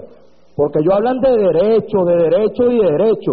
Señor, ¿y dónde quedan los deberes de nosotros como ciudadanos? ¿Dónde queda el deber establecido ahí en la Constitución de honrar la patria y sus símbolos cuando estos señores de manera vulgar, arbitraria e irresponsable salen ante los medios nacionales e internacionales mostrando nuestra bandera al revés? Eso creo que quedó suficientemente claro y evidenciado según medios audiovisuales, eso ha recorrido el país. Bueno, a todo esto me permito recordarle a esos jóvenes de oposición, porque no son otros sino jóvenes de oposición, porque así que decirlo de manera responsable. Señores, aquí no se cerró ningún canal, lean, porque uno tiene que ser responsable de sus actos y de sus palabras. Lean, la constitución y la ley orgánica de telecomunicaciones establece que el espectro radioeléctrico le pertenece al Estado y por ende al pueblo venezolano. Entonces, en virtud de esta situación, le vamos a, dar respuesta a muchas interrogantes que ellos tienen, señores. El Estado, de manera unilateral, según lo que establece el artículo 73 de dicha ley, se reserva el derecho de renovar o no dicha concesión. Ahora, hay que establecer también, señores, el Estado venezolano se encontraba en mora con el país. ¿Por qué digo esto? Porque nuestra constitución establece que el Estado debe garantizar un medio televisivo social, que es el que actualmente acabamos de dar la bienvenida hace ya más de una semana y la cual nosotros como estudiantes revolucionarios comprometidos como el país aplaudimos la decisión del Ejecutivo, pero más allá de una decisión de no renovarle la concesión a un canal golpista, aplaudimos la decisión de ir y seguir saldando las deudas sociales que tenemos con el pueblo venezolano. Dicho esto, le recuerdo a estos señores que si el Estado venezolano hubiese querido actuar tenía los argumentos y los elementos, señores. Aquí en Venezuela lo que hubo fue un golpe de Estado. Y, me apego a las palabras de libertad. Nosotros exhortamos, señores, magistrados del Tribunal Supremo, cumplan con su deber, hermano. Pronúnciense, porque todos sabemos, tanto en Venezuela como en el mundo entero, que aquí hubo un golpe de Estado. Entonces, entre otras cosas, es importante señalarles que se venció la concesión, señores, de tres canales, ¿verdad? Dos medios privados y un medio público, que es BTV, el Canal 8.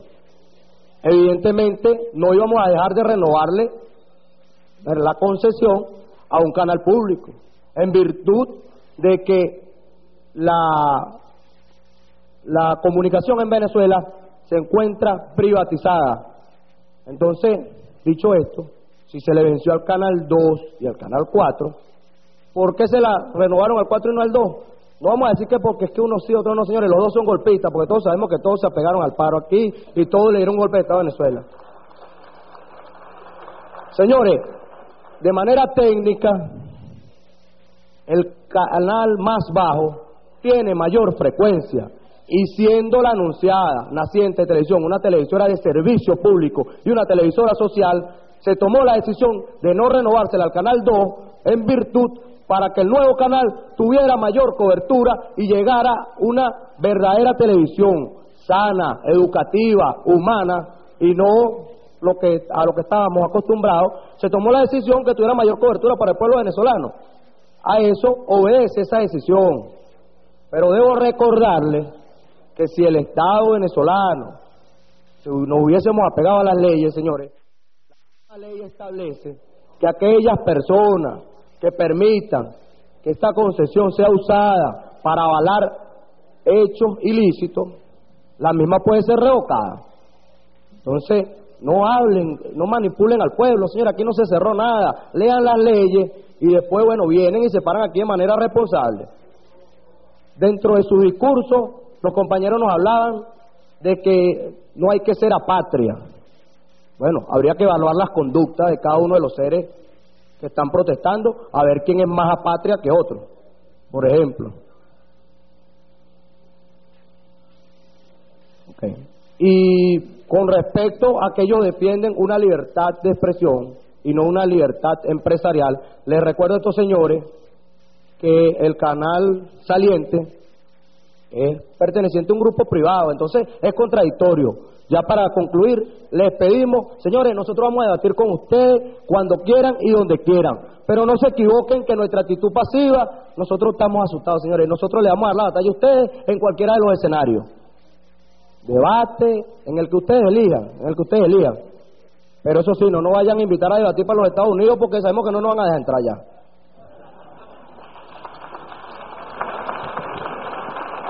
Entonces, aclaren el discurso, compañeros, y nosotros seguimos aquí en pie de lucha Y les recuerdo, no estamos manipulados por el presidente, señores. Cuando el presidente dice alerta, ¿verdad? Porque ya lo conocemos a ustedes, que esto es un plan golpista. Cuando el presidente dice alerta y habla de los sectores populares, ahora mi pregunta es, porque yo soy un sector popular del este de Caracas, entonces, ¿es que los sectores populares no somos estudiantes? ¿Es que los sectores populares no somos pueblos? Muy buenas tardes. Gracias al estudiante Yahir Muñoz. Le correspondía el derecho de palabra al diputado Juan Andrés Mejías de la Universidad, al estudiante. Le correspondía el derecho de palabra al estudiante Juan Andrés Mejías, estudiante de la Universidad Simón Bolívar. No se encuentra presente, que quede en acta, ciudadano secretario. Tiene la palabra el diputado, el estudiante, bueno, estamos aquí siempre en los debates en donde los diputados son los que tienen el derecho de palabra. Por eso lo histórico también de esta sesión, el derecho de palabra se le ha dado a los estudiantes universitarios. Tiene la palabra el estudiante César Trompis, de la Universidad Bolivariana de Venezuela.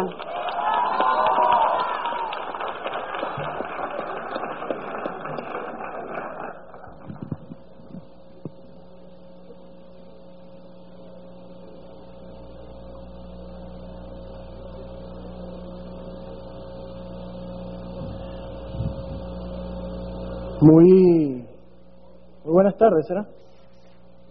Sí, muy buenas tardes. Bueno, lo vamos subiendo. Aquí, ahora sí. Bueno, buenas tardes a todos ustedes, los que estamos aquí adentro, a todos los que estamos aquí adentro. Buenas tardes al país, buenas tardes al mundo. Los estudiantes hemos venido hoy a la Asamblea Nacional a exponer un compromiso con la patria. Queríamos ver aquí los compromisos que habían de los sectores que se han aducido la palabra movimiento estudiantil, de los sectores que mediatizadamente asumen las vocerías de todos los jóvenes y todos los estudiantes de Venezuela, pero que son vocerías, lamentamos mucho, de un pequeño sector de la sociedad que se resiste al cambio revolucionario que está dando el pueblo bolivariano de Venezuela. Veníamos a escucharlos, veníamos a revisar sus ideas, a exponer las nuestras, pero han dejado las sillas vacías, han dejado allí los espacios vacíos, han vuelto a dejar sus espacios vacíos. Ahora, ¿qué comprende el estudiante bolivariano, qué comprende el movimiento popular venezolano? Que espacio dejado en blanco, espacio que le toca al pueblo espacio que dejen, espacio que ocupamos. Porque el chantaje golpista, porque el chantaje del 2002, porque el chantaje del imperio norteamericano, el pueblo bolivariano no se lo aguanta más, no nos la escalamos. Sin argumentos, con discursos tarifados, con discursos escritos, y lo demostrarán un poquito más tarde, con discursos preparados, con guiones, vinieron aquí a denunciar que los estudiantes bolivarianos y que veníamos uniformados, que no querían más uniformes. Y aquí el ejemplo de la diversidad. Las caras del pueblo, mujeres, hombres, diferentes edades. Aquí está presente la diversidad del pueblo. Nos hablan de democracia, nos hablan de su democracia. Nos hablan de libertad, nos hablan de su libertad.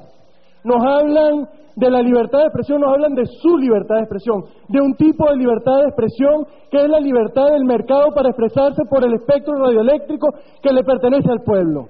Que sepa el mundo, que sepan los pueblos del mundo, que el espectro radioeléctrico no le pertenece a ninguna de las televisoras que administran sus espectros en sus países que sepan los movimientos populares de Latinoamérica, los movimientos populares de Europa, de Norteamérica, que el espectro radioeléctrico no le pertenece a las concesionarias que lo toman, sino que le pertenecen a ellos, y que las transformaciones en ese espectro, para que sea administrado por el pueblo, deben darse, porque son uno de los poderes que tenemos que asumir para las transformaciones integrales de la sociedad, para la liberación del pueblo, para la construcción de un modelo distinto de sociedad.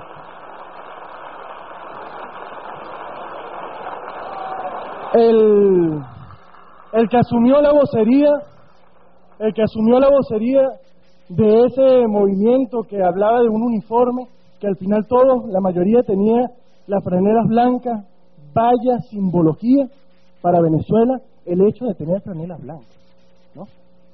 Interpreta el pueblo, ¿qué significa eso? Ellos venían a decirnos que tenían una propuesta para el país, pero que la estaban construyendo, pero que al final era la libertad, pero que eran los derechos civiles, pero que eran yo no sé qué, pero que era que se restituyera RCTV. Al final eso era todo. Es decir, al final eran los intereses de un grupo económico. Es decir, que al final son los intereses de la oligarquía los que querían venir a imponer para acá. Al final querían que cayéramos en el chantaje golpista de que cuando ellos se fueran, entonces nos íbamos a ir nosotros y nos íbamos a callar. No, vuelvo y repito como comencé, espacio dejado en blanco, espacio que vamos a ocupar con todo y con todo el pueblo venezolano, y con todos además. Afuera de este, de este espacio, de este espacio que en donde se representa la diversidad del pueblo bolivariano, con ustedes los diputados de la revolución, están estudiantes y personas del movimiento popular venezolano, bolivariano, también defendiendo la libertad de expresión y defendiendo la democracia, pero con un proyecto claro, que esa es la diferencia, con un objetivo claro, que esa es la diferencia. Nosotros sí tenemos proyectos, nosotros sí estamos construyendo un tipo de país, que es el tipo de país socialista. Y duele a quien le duela, todos los espacios de esta nación, de Venezuela, y de Latinoamérica, porque, eso porque esta mecha se expandió, porque este es un pueblo que está encendido en contra de la oligarquía, en contra de los privilegios de los pocos. Ese pueblo está allá afuera y eh, los compañeros que hemos accedido aquí adentro estamos dispuestos a dar la vida, y esto es en serio, esto no es un, discurso que se ha puesto de moda, no. Aquí está el compromiso de dar la vida entera, pero dar la vida entera no solo para dar la muerte, es decir, no solo en, el sentido fatal, sino que la vida entera completa, la respiración, la vista, el amor, los sentimientos, los pensamientos, para hacer un mundo justo. Pero decían los compañeros, la compañera Libertad, que cualquier escenario está dispuesto para el debate. Y para cualquier tipo de debate también, que lo sepan. Cualquier tipo de debate. Que se demostró el 13 de abril, y que se está demostrando ahorita con un 13 de abril que tenemos continuado, porque ellos no nos van a venir con un golpe continuado suave. Nosotros venimos en alerta popular y llamamos a todos los compañeros de universidades y a los que son dirigentes y a, los que asumen dirigencia a tener en estado de alerta real y de 13 de abril constante a todos los estudiantes y a todos los movimientos juveniles del país. Y que sepa Latinoamérica que aquí la oligarquía venezolana la misma que trajo discursos tarifados esta mañana para la Asamblea Nacional, quiere tumbar un proceso histórico que se está dando aquí en Venezuela y que está haciendo y que está tocando los intereses reales de esas oligarquías. Y que lo sepa porque los llamamos también a un 13 de abril en sus países, a que tomen el poder, a que tomen el poder y transformen esas sociedades que necesitan ya el poder del pueblo. Bueno, este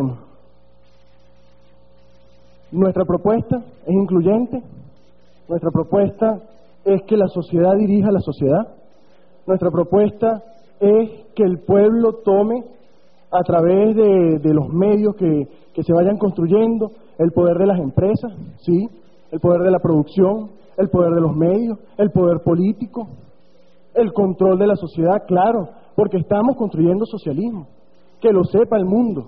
Aquí hay proyectos claros, aquí hay estudiantes claros y que saben lo que quieren. Y lo vamos a seguir haciendo. A este pueblo no lo detiene nadie, a este pueblo no lo chantajea nadie y este pueblo va a dar la discusión. La discusión que ellos no vinieron a dar acá, la discusión de la autonomía universitaria, por ejemplo, que es la autonomía de los privilegios de clase de los rectores de las universidades. Esa discusión sí la vamos a dar la discusión del tipo de educación para el país, eso también lo vamos a dar. Pero lo vamos a dar con los consejos comunales, con una propuesta de educación popular, con una propuesta de educación liberadora, con una propuesta de trabajo liberador, con una propuesta para transformar realmente en revolución, en ninguna reforma, la sociedad venezolana, la sociedad latinoamericana y el mundo, que sí es mejor, pero el socialismo, camaradas, compañeros y país y el mundo en general. Muchas gracias, muy buenas tardes.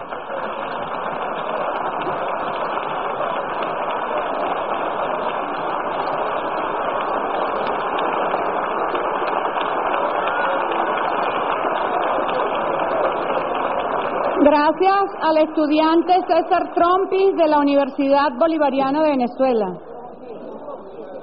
Le correspondía el derecho de palabra al estudiante Juan Andrés Mejías de la Universidad, el, al estudiante Alexis Cabrera, Cabrera de la Universidad Simón Bolívar. Se retiró, su silla está vacía, que quede constancia en acta. Tiene la palabra por la Universidad Bolivariana de Venezuela, otra estudiante, Mayerlin Arias. La estudiante Mayerlin Arias.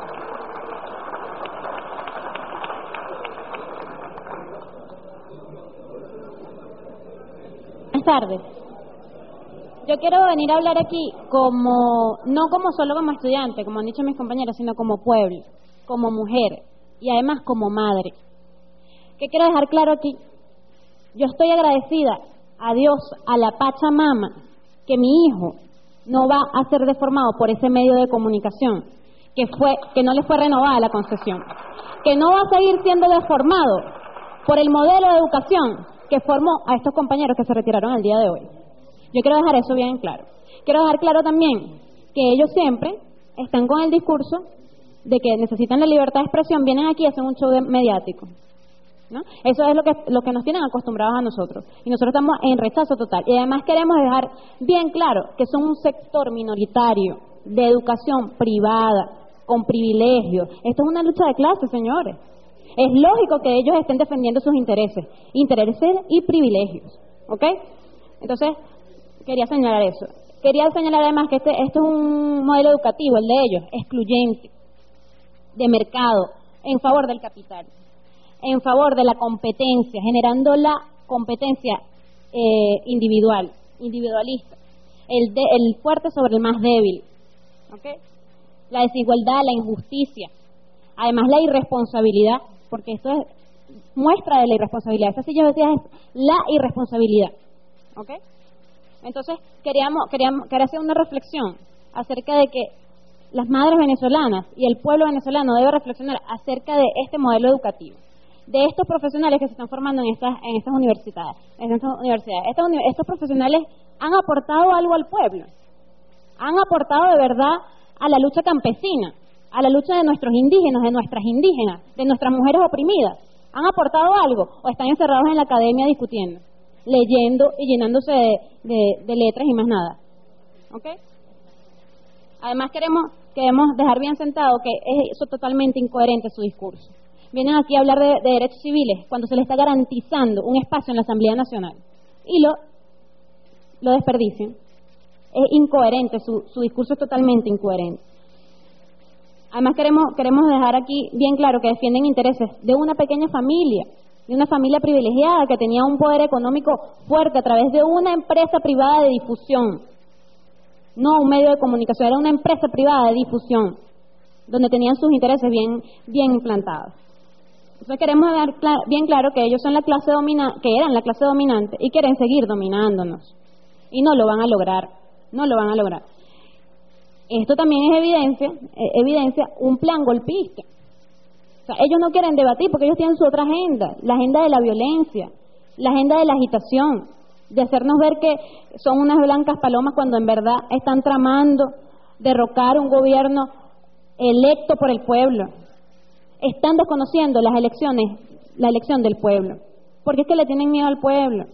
Le tienen miedo al pueblo y le tienen miedo a que el pueblo le tome la universidad, a que la universidad se pinte de pueblo. Porque ya sabemos que se eliminaron las pruebas de actitud académica y las pruebas internas. El año que viene la universidad se les llena de pueblo. Eso es todo.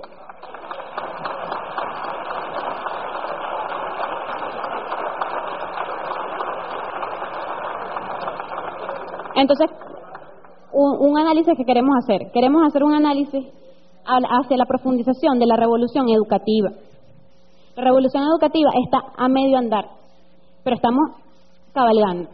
Ya estamos haciendo la revolución más profunda dentro de la, dentro de la educación, no nada más superior, desde la misión Robinson, Rivas, Sucre.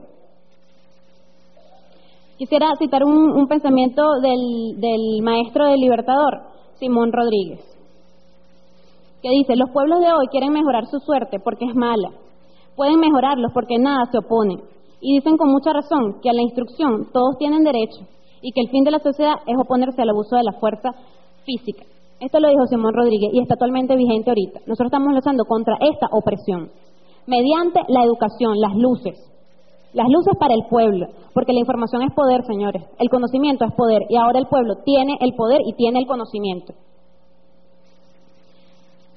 Por eso yo pienso que el fin de la educación es formar un ciudadano integral, servidor a la patria, solidario, con respeto y responsabilidad por la diversidad, rescatando el cooperativismo, rescatando los valores indigenistas y afrodescendientes que tenemos intrínsecos en, nuestra población, porque nuestra madre patria es África, nuestra madre patria es la Pachamama, Venezuela, Latinoamérica.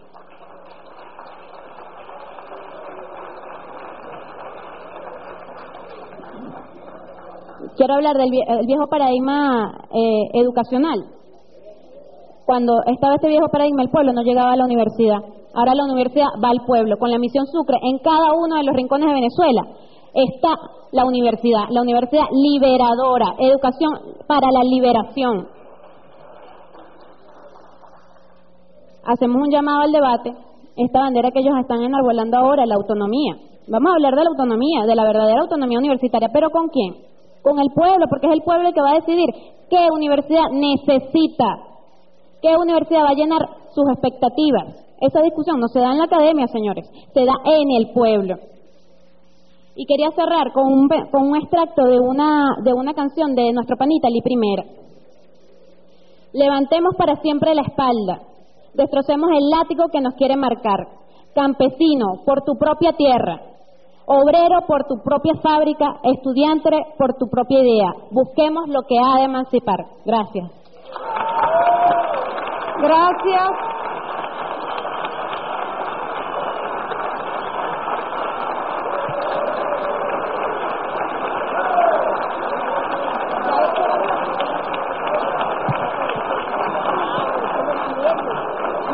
Gracias a la estudiante Mayerlin Arias de la Universidad Bolivariana de Venezuela. Le correspondía el derecho de palabra al estudiante Ricardo Sánchez de la Universidad Central de Venezuela. Se retiró y su silla quedó vacía, que quede constancia en actas. Le corresponde entonces el derecho de palabra al estudiante Manuel Dun de la UNEXPO, Universidad Nacional Experimental Politécnica. Buenas tardes. Yo quiero enviar primero un saludo a, a todo el pueblo venezolano. Creo que lo que hemos tenido la oportunidad de estar en, la, en las luchas sociales y montado en el barrio, transmitiendo el conocimiento adquirido, viendo que muchas veces las personas como se acaban de retirar, no tienen una sensibilidad social, pues es que simplemente no las palpan. No las palpan. Yo creo que ninguno de ellos ha subido a un sector popular y ha agarrado un chamito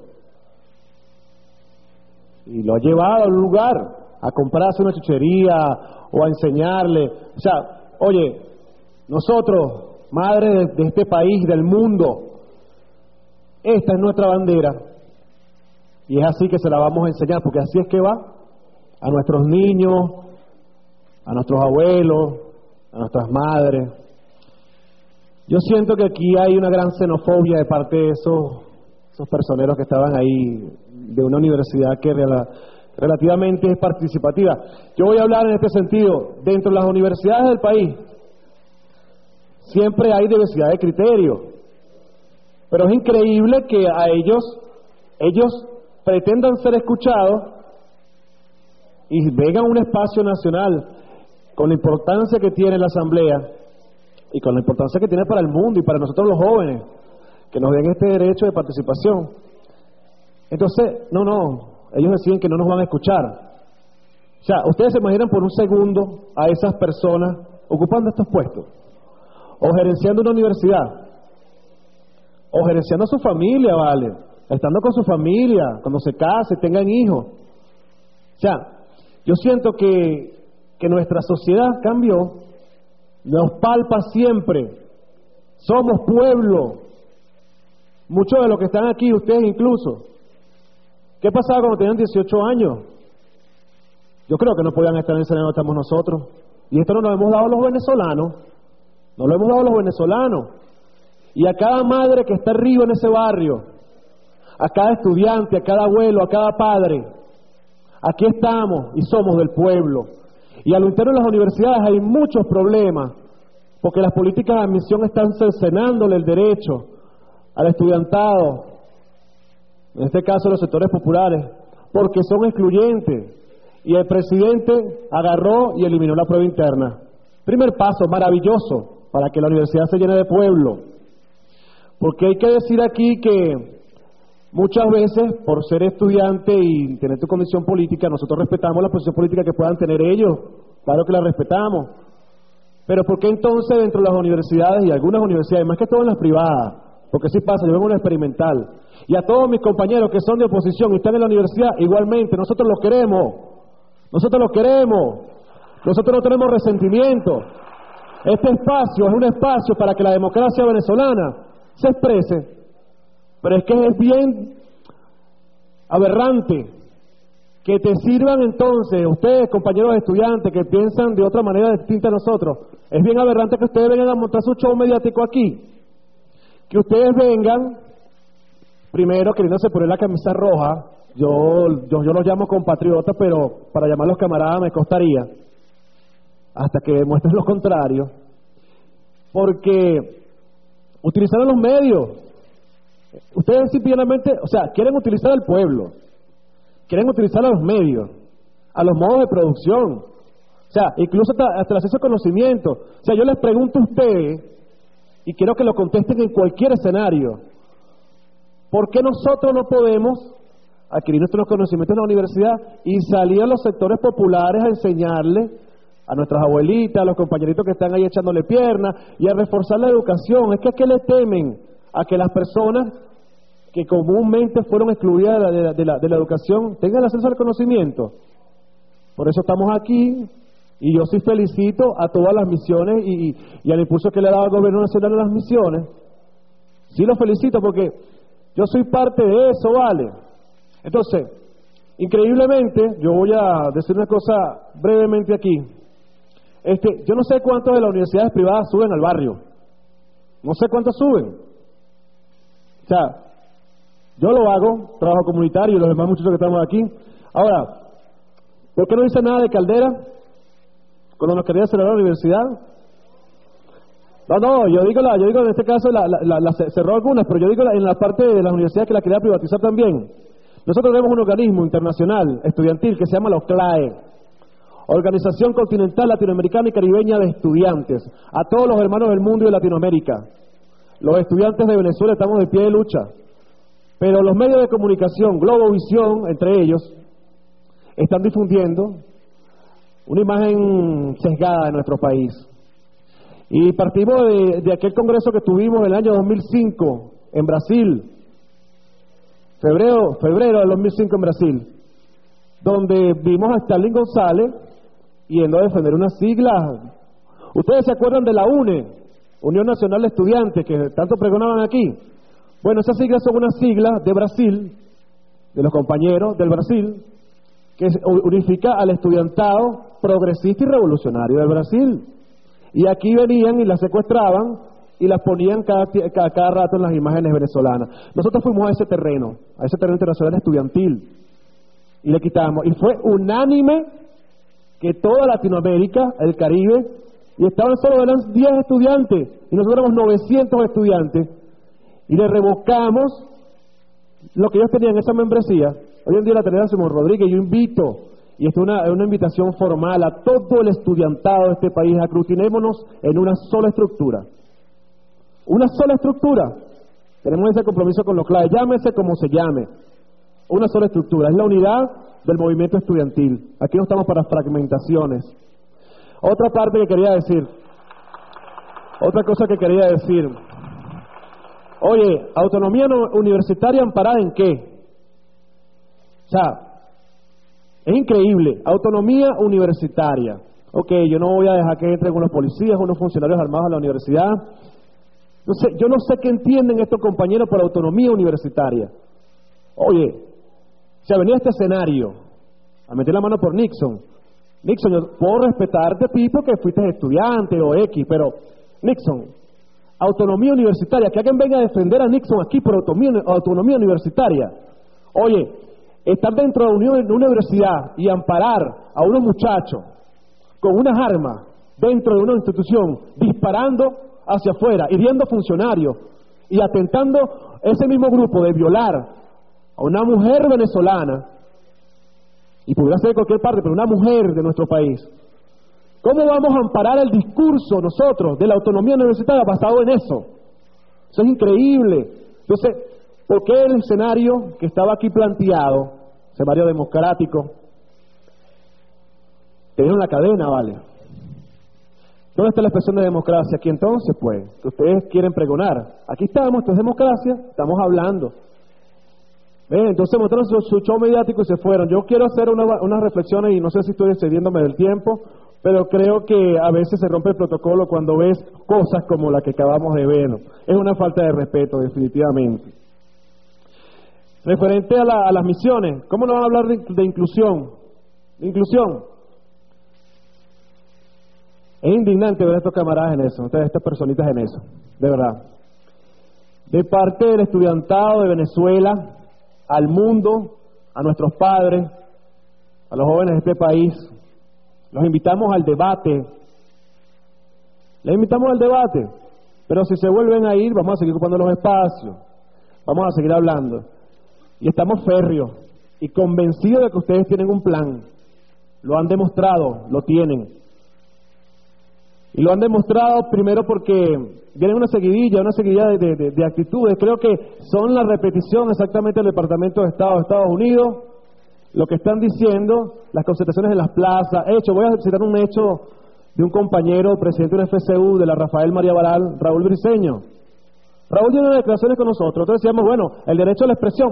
Agarramos un autobús cualquiera de los estudiantes y fuimos a cada una de las televisoras a expresar nuestro derecho. Pero después que el compañero expresó, en el Zulia lo fue a buscar la policía, a su casa. O sea, no podemos expresarnos. ¿Por qué tienen que ir a buscar en Zulia al compañero? Porque estamos aquí. Y no lo dicen los medios. Provisión, te reto, hazlo. Hazlo.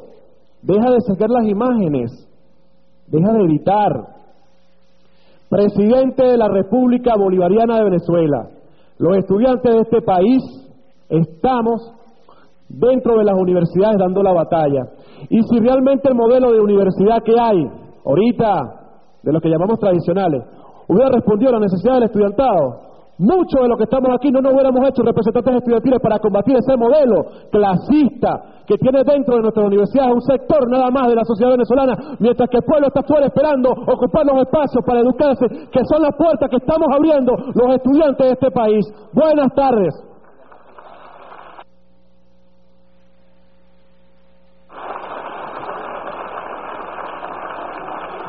Gracias al estudiante Manuel Dunn de la UNEXPO. Le correspondía el derecho de palabra a Geraldine Álvarez de la Universidad Católica Andrés Bello de Comunicación Social. Se retiró, su, su silla queda vacía, que conste en actas. Tiene la palabra la estudiante Osli Hernández de la Universidad Central de Venezuela.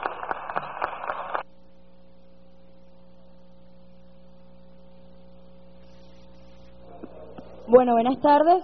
Primero que todo, eh, agradecidísima por este acto histórico que una vez más el este proceso que todas y todos los venezolanos estamos iniciando permite que un estudiante de izquierda que defiende las ideas progresistas, que toda la vida fuimos reprimidos por los órganos de Estado de la democracia burguesa, hoy día nos encontramos dentro del espacio de la Asamblea Nacional dirigiéndonos por cadena nacional para reivindicar nuestras luchas. Sumamente agradecido. O sea, creo que no solo hablo a nombre mío, sino de todos esos compañeros y compañeras que cayeron en combate, de todos y todos esos compañeros que se encuentran allá afuera, aún luchando por lo que creemos, consideramos que son nuestras reivindicaciones, porque no son solo nuestras, sino también las reivindicaciones de nuestro pueblo. No solo de nuestro pueblo venezolano, sino de nuestro pueblo latinoamericano, del pueblo mismo europeo, del pueblo mismo mundial, que cada vez se encuentra pujando por un proceso más justo para todas y todos. Como en esta batalla que nos hemos eh, anunciado nosotros como la batalla de las ideas, creo que es importante hacer, eh, dirigirnos a esos compañeros y compañeras que se encuentran fuera, eh, volteando banderas, marchando sin saber para dónde, refrescarles un poquito por qué se han unido los estudiantes y las estudiantes del mundo desde hace más de 60 años, 50 años, cuáles han sido sus luchas, cuáles han sido sus reivindicaciones, para ver en cuáles de esas reivindicaciones nos acompañan, pues, y continuamos juntos en la lucha, y no simplemente a partir de una libertad que además yo quisiera saber de qué modo se sesga, cómo se sesga la libertad de expresión, Puedo sesgar, como bien señalaba la compañera, la libertad de prensa. Puedo sesgar la libertad de un medio empresarial. Pero ¿cómo sesgar la libertad de expresión, compañeros y compañeras?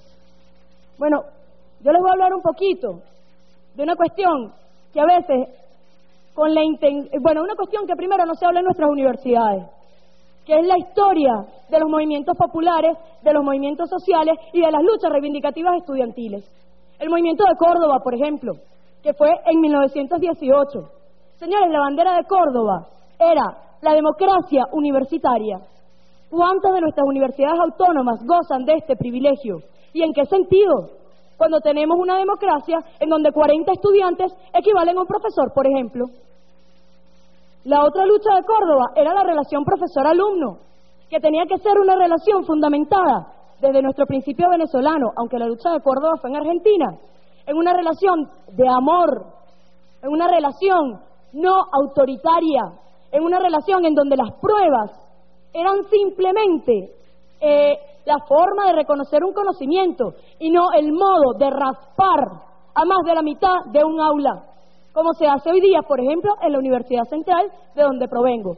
Y este mensaje sobre todo va a compañeros y compañeros de ingeniería, de medicina, de odontología que padecen de ese sistema y que hoy día están saliendo a marchar sin, todavía con la boca cerrada, pero el tirro, compañero, lo tenemos a lo interno de las universidades.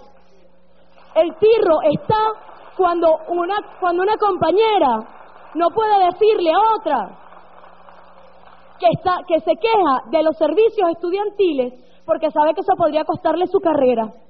Cuando una compañera no puede hacer una manifestación o no puede plantearse en contra de alguna autoridad, porque eso podría costarle su carrera. Como quizá, por ejemplo, fueron víctimas varios y varias de las compañeras y compañeros que se sumaron a los movimientos de la toma que fueron expulsados.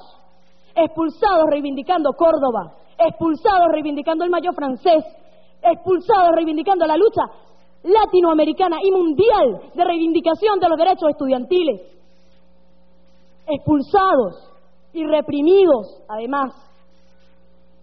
Mientras tanto, en Venezuela, por ejemplo, cuando el movimiento de la renovación, 1969-1970, compañeros, periodo del presidente Caldera, tanquetas entraron a la UCB, cerraron la Universidad Central de Venezuela, por el derecho de todas y todos a la educación, por la necesidad, porque a partir del movimiento de la renovación, para quienes no lo sepan, se logró equiparar la participación estudiantil dentro de los órganos de cogobierno.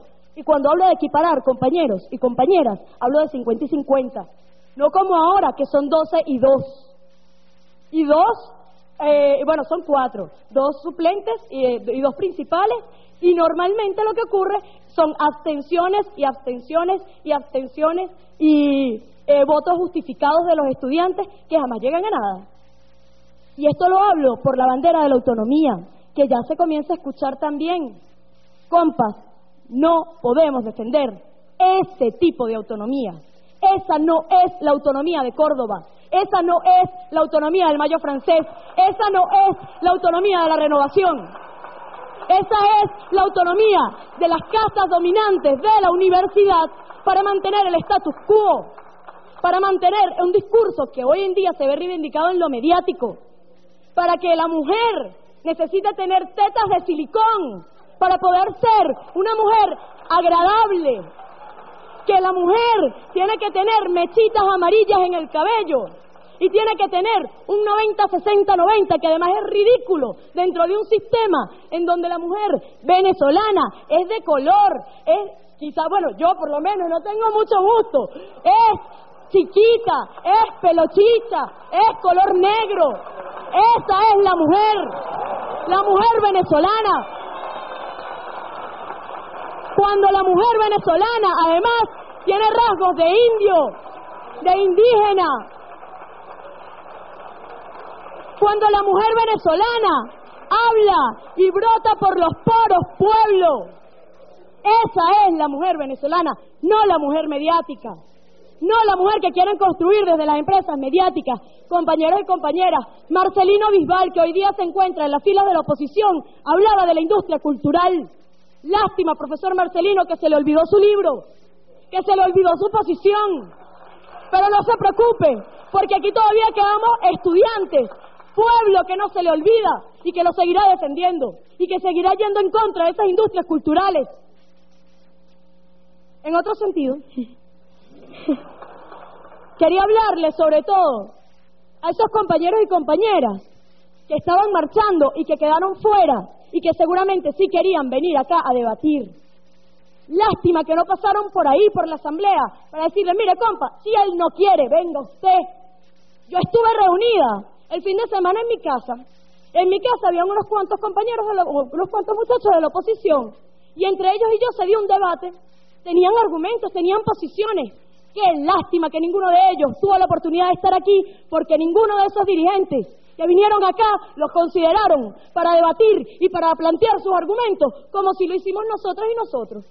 Ojo, aquí tuvimos, mire, fue una pelea, y no una pelea en el mal sentido, fue, eran tantas las personas nuestras que querían participar en este debate, que fue bastante problemático, eh, debatiendo, fue difícil lograr a estos diez compañeros que hoy estamos acá.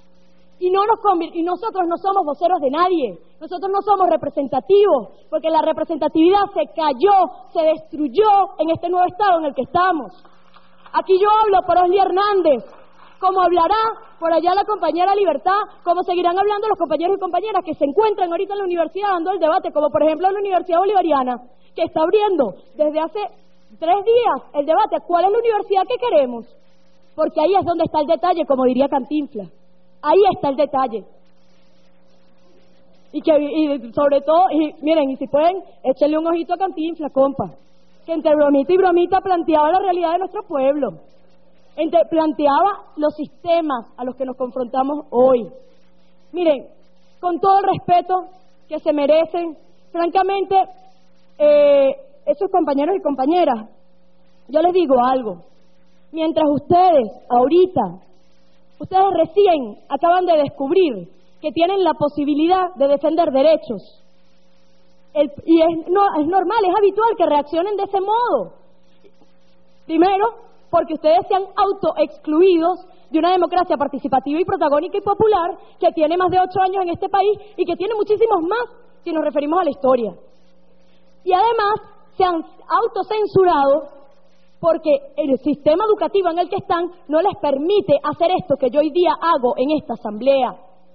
Los castra, no les permite ser críticos, solamente son borregos, borregos de una estructura educativa que les impone la repetición de un sistema y después terminan haciendo carritos para la Fórmula 1 y no construyendo tractores para el campesino. Y no construyendo, eh, haciendo medicina popular. Y yo no digo que no se hagan carros, pero compañeros, evaluemos cuánto interés le ponemos al carrito y cuánto interés le ponemos al tractor. Mientras ustedes están elaborando su propuesta, compañeros y compañeras, el pueblo latinoamericano tiene 89 años elevando propuestas. Y hoy día en Venezuela se ven legitimadas, se ven reivindicadas.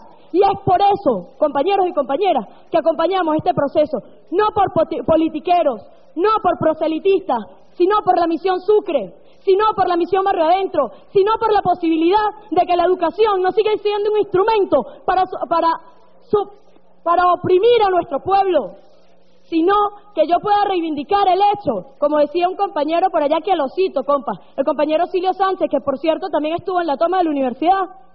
Es triste, triste ver cómo la solución habitacional de Caracas, compas, no la resuelven los ingenieros, lo resuelve el albañil. Ahora, ¿cuántos albañiles hay dando clase en nuestro sistema educativo? ¿Cuántos albañiles están transmitiendo ese saber popular dentro de nuestro sistema educativo? Y eso lo llama la reflexión incluso para la profundización de nuestro proceso, porque todavía no pasa, pero pasará. Y ahí vemos, y hay, perdón, y hay estudiantes, pueblo, campesino, obrero, indígena y mujeres, y mujeres prestos para que, eh, para que eso ocurra, para que se profundice este proceso de revolución, que no, compañeros, no es en contra de ustedes, es primero antiimperialista, anti-sistema capitalista. Y en la medida que ustedes no sepan reconocerse en ese pueblo, verse en él, sentirse en él, hablar con la pasión con la que cualquiera de los que nos hemos levantado acá lo haga, compas, ustedes seguirán estando de espaldas al pueblo. Y nosotros nos negamos a eso. Muchas gracias.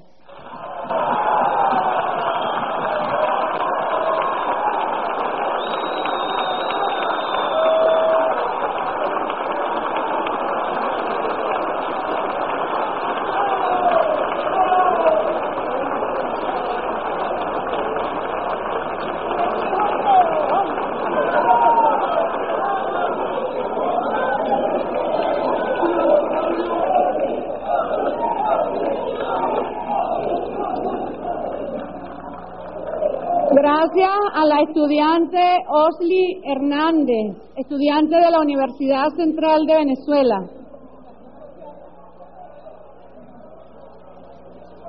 Le correspondía le correspondía el derecho de palabra a un representante de los estudiantes de educación media, el estudiante Francisco Rodríguez, representante de la Fuerza Unida Estudiantil de Bachilleratos. No se encuentra presente, se retiró, allí quedó su silla. Le vamos a dar entonces el derecho de palabra a un estudiante también de educación media, al estudiante Eder Dugarte, del Liceo Bolivariano Eduardo Crema del Paraíso.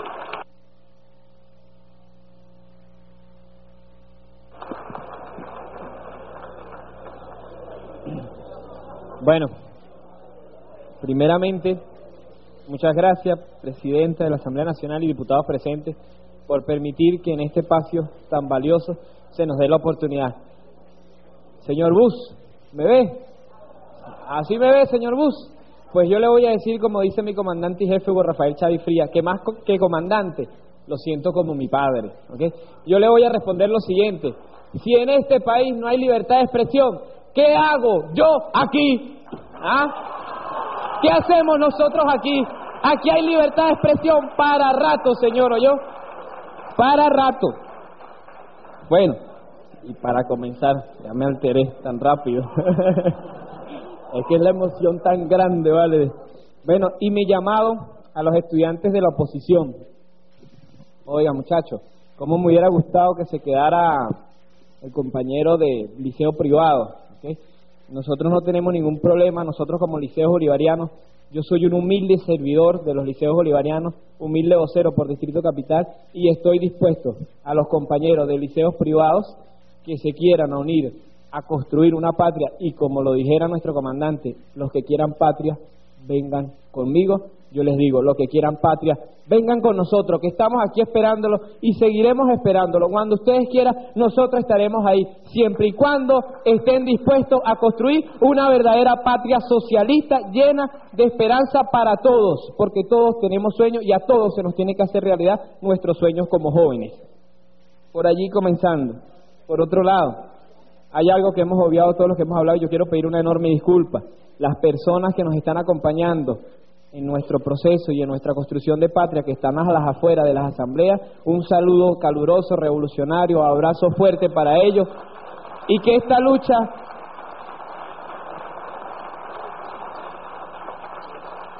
esta lucha más allá de ser de nosotros los estudiantes es del pueblo entero. Yo voy a responder algunas porque como este era un debate, algunas del primer estudiante de la oposición que habló, que él decía que el, el único que habló, bueno, hablaron dos, pero el primero que habló, este, que bueno, leyó, señor Bush, a ver si hace algo mejor, porque eso está feo, pero bueno, este, en lo que él leyó, él decía, ¿verdad?, que era una lucha de las universidades, que es una lucha de las universidades y que hay que debatir en universidades.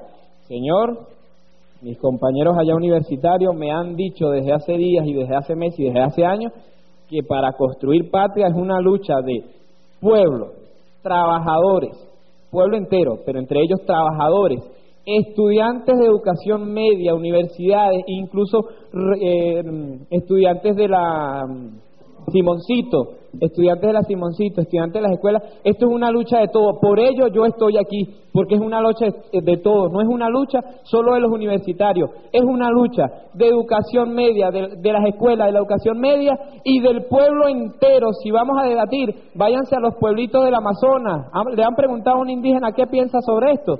¿Mm? Porque los indígenas hace 10 años sí no tenían libertad de expresión. ¿Ok? Hoy en día tienen libertad de expresión. ¿Cuántos indígenas?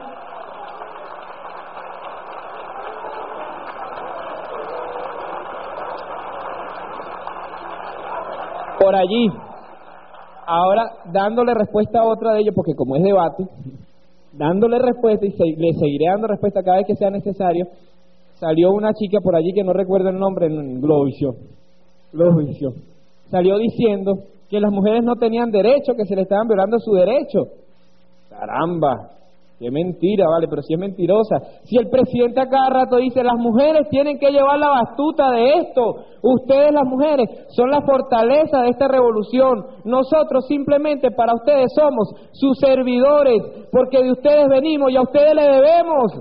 ¿Mm? Sin la mujer no hay patria, lo digo yo como hombre y lo admito. ¿Mm? Claro, claro. No dejaré de ser hombre por esto, pero le debo a una mujer, mis hermanos. Perdónenme enormemente, yo vengo de una mujer y tengo que agradecerle toda mi vida, ¿ok? Toda mi vida, así.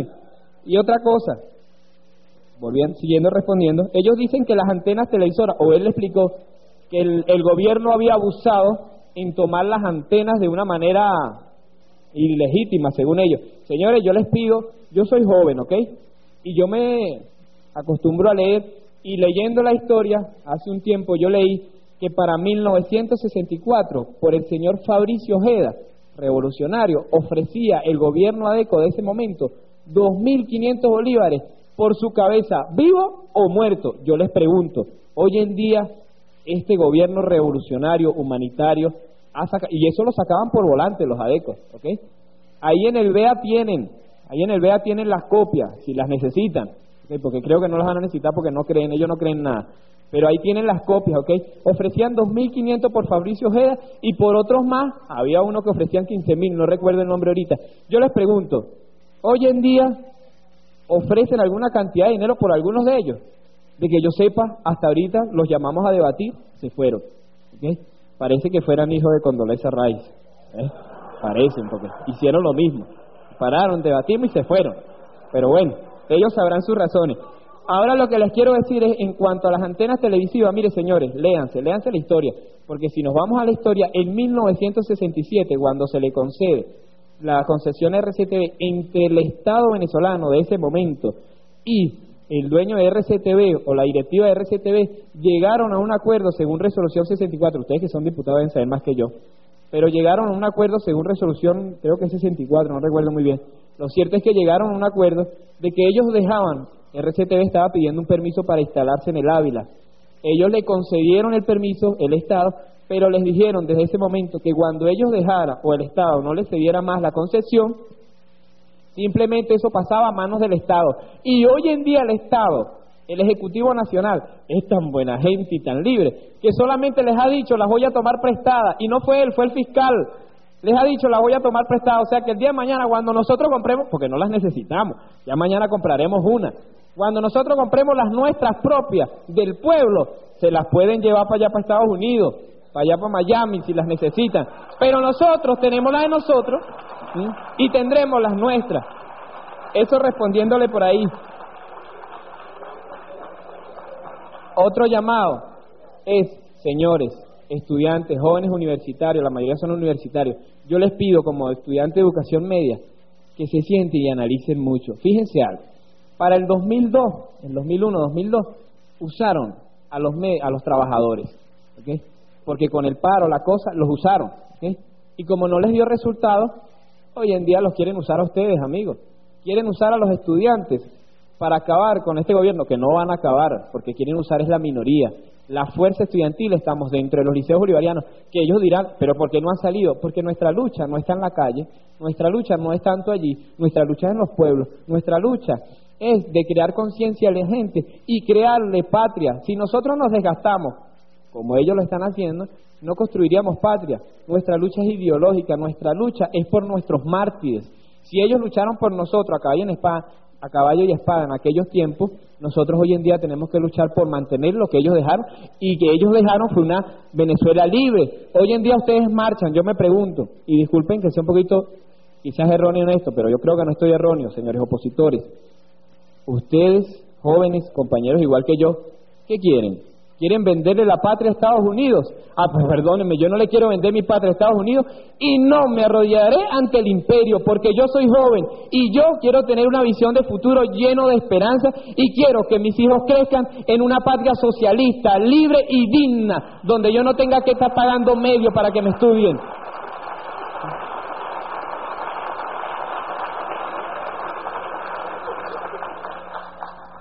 Y ya para finalizar con ellos, porque ya no le voy a dar mucha importancia. Pero bueno, ellos dicen, ellos, ellos dicen no, ellos vienen haciendo, y el presidente hace día lo decía, un golpe suave, ¿verdad? Bueno, yo hace sentado ahí analizando lo que decía, si ustedes están dando un golpe suave, escuchen bien, con ese pueblo que está allá afuera y con nosotros los estudiantes, tendrán un golpe fatal, ¿ok? Vayan, vayan suavecitos, pero nosotros le daremos fatal en el momento que sea necesario, porque nuestra patria y esta bandera, con su permiso, señora presidenta,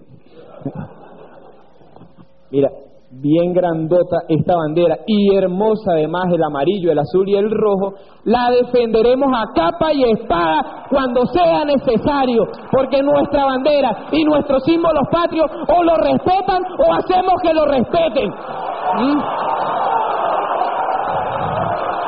¿Qué sinvergüenzura ya está volteando la bandera? ¿Acaso esa bandera la hicieron ustedes? Esa bandera fue construida llena de libertad y seguirá libre. Mañana que nos van a voltear, nos van a voltear los liceos, nos van a voltear nuestra conciencia. Pues no, no habrá volteo de conciencia. Lo que habrá es un país socialista y lleno de libertades posibles. Me van a decir que no hay libertad de expresión y qué estoy haciendo yo, qué hicieron mis compañeros y qué oportunidad se le dio a ellos para hacerlo. Señores del mundo entero, yo les pido como joven que observen esto. ¿Okay? Nosotros, si aquí no hubiera libertad de expresión, yo estoy seguro que uno de los primeros que saldría a reclamar la libertad de expresión es mi persona. Y junto a esos compañeros, y estoy seguro que los diputados también. ¿Mm? Todos saldríamos, ¿verdad? Señores, pero aquí no hay nada que salir, aquí somos libres. ¿Mm? Aquí estoy yo en cadena nacional, en la República, orgulloso, en la República Bolivariana de Venezuela, orgulloso de ser venezolano, hablando en cadena nacional, que por cierto, quiero enviarle un saludo y unas felicitaciones públicamente al camarada compatriota Nicolás Maduro. Caramba, un fuerte aplauso para él, vale. De verdad,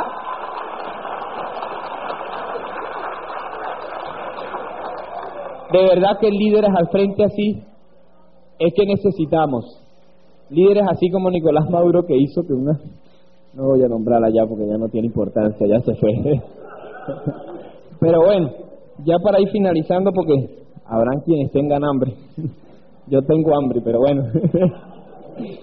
Este, yo quiero agradecer, como esto es libertad de expresión y estoy libre de hacerlo, yo le quiero agradecer esto al gobierno bolivariano y a nuestro presidente Hugo Rafael Chávez Fría, yo le quiero agradecer lo siguiente. Realce de valores dentro de la, dentro de la educación, ¿ok? Si no en real, realce de los valores dentro de la educación. Aumento de la matrícula escolar en liceo, o sea, estoy más o menos diciendo, si no hubiera libertad de expresión y si no hubiera un buen gobierno, esto no existiría. Aumento de la matrícula escolar en los liceos bolivarianos. Para el año 1997, en los liceos bolivarianos teníamos un, una población de 1.292.790 estudiantes de primero a quinto año. Hoy en día, en el, en, al 2006, llegamos a una altura de 2.221.505 estudiantes en, en los liceos bolivarianos. Creación del proyecto PAE, el beneficio alimenticio, donde más de 2 millones de estudiantes nos, porque yo me beneficio de él, nos beneficiamos de él, bastante que me como como 10 empanadas cada rato, Oigamos eso. Más de 35 mil estudiantes beneficiados por becas de Fundayacucho. Ojo, 35 mil solo por Fundayacucho. Los del Instituto Nacional de la Juventud y los demás que el Ministerio cede, la zona educativa, o sea, por allí podríamos sacar bastante número. Creación de las misiones como son Robinson, Rivas, Sucre, con un registro bastante alto, un registro que hoy en día nos hace llevar a que seamos un país libre, ¿okay? de analfabetismo. Eso merece un gran aplauso, porque libres de analfabetismo.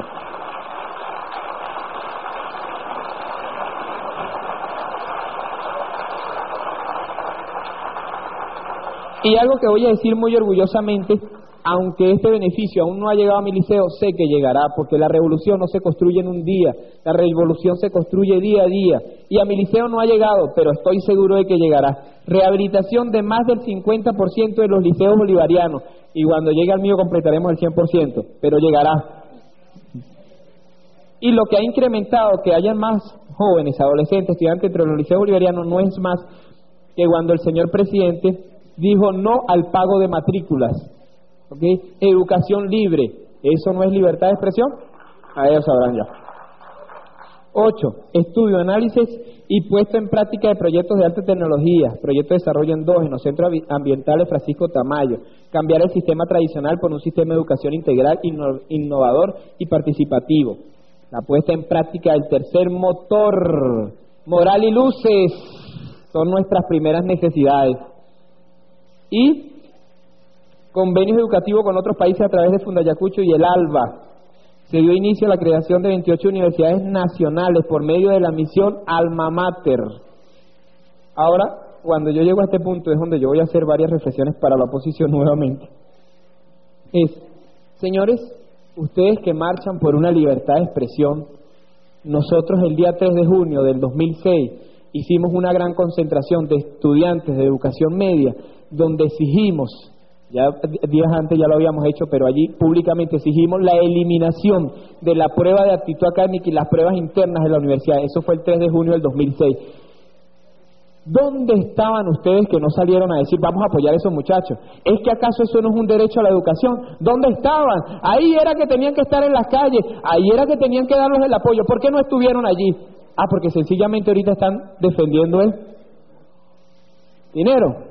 Oye, mi hermano, pero en tiempos atrás, o para el 2006, más que dinero, teníamos una población o tenemos una población humana que defender y era el derecho de nosotros a estudiar y es el derecho mío a estudiar y fíjense algo yo como humilde director eh, director de una organización bolivariana no director, un vocero, perdón, uno de los tantos voceros de la Organización Bolivariana Estudiantil, muy humilde, yo este año presento mi prueba de título académica y la prueba interna de la universidad. Y estoy orgulloso de hacerlo. Pero yo sé, y lo sigo ratificando, que el que viene en cuarto y que mi sobrino que viene en segundo año o en primer año no la va a presentar, yo sé que él va a entrar derechito. ¡Fa!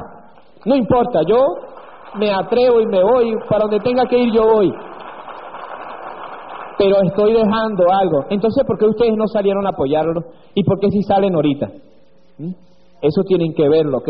Señores de la oposición, porque no hicieron una gran marcha apoyándonos y diciendo sí, no a la eliminación de la prueba y, el resto de lo demás, ¿ok? Entonces, eso por ahí. Y ya para concluir, yo quiero agradecer. Me estoy encadenando. Me estoy encadenando. Bueno, yo no soy Chávez. Bueno, ya para concluir, yo quiero dar unos agradecimientos muy enormes, ¿ok? Porque para mí sí hay libertad de expresión y para todos los hay. Lo que pasa es que unos las buscamos y otros nos quedamos, ¿ok? Quien no busca, no consigue. ¿ok? Nosotros estamos buscando patria, la hemos conseguido y la estamos explotando y seguiremos dentro de esta patria consiguiéndola, explotándola y creándola. Porque nuestra patria merecerá respeto, merece respeto, seguirá mereciéndolo y estaremos ahí para garantizar que se respete. En vista de ello, yo quiero agradecerle muy enormemente a la subcomisión Familia, Mujer y Juventud y a la comisión permanente Familia, Mujer y Juventud, que siempre en todos los espacios nos ha recibido, a liceos bolivarianos, Organización Bolivariana Estudiantil e incluso a liceos privados, se nos ha permitido estar allí para exponer nuestras ideas y nuestras claridades. Se nos ha, o sea, nada más para que tengan un enlace de que no tenemos libertad de expresión, según. Entonces, ¿por qué hace como dos semanas, tres semanas nos llamaron para debatir sobre la reforma de la ley de educación? Esa es mi pregunta para ellos. Ya para finalizar, de verdad quiero dejarlos con un mensaje del Che Guevara y que quiero que le quede bien claro a la oposición venezolana. Que lo sepan los nacidos y los que están por nacer. Nacimos para vencer y no para ser vencidos. Que vivan los estudiantes, que viva el pueblo venezolano. Venezolano, patria, socialismo o muerte. Venceremos.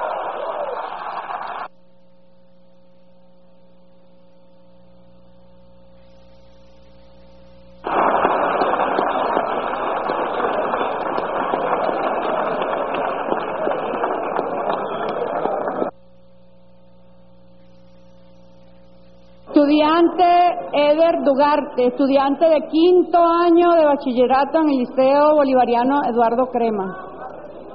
Le correspondía el derecho de palabra al estudiante Fabricio Briceño de la Universidad Central de Venezuela. Se retiró, su, quedó, su silla quedó vacía, que quede constancia en acta. Para cerrar estos derechos de palabra, le vamos a dar la misma al estudiante Héctor Rodríguez, estudiante de la Universidad Central de Venezuela.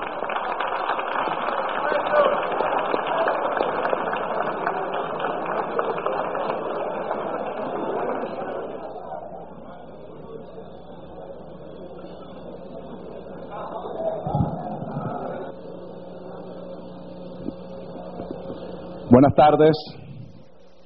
Buenas tardes a la directiva de la Asamblea Nacional.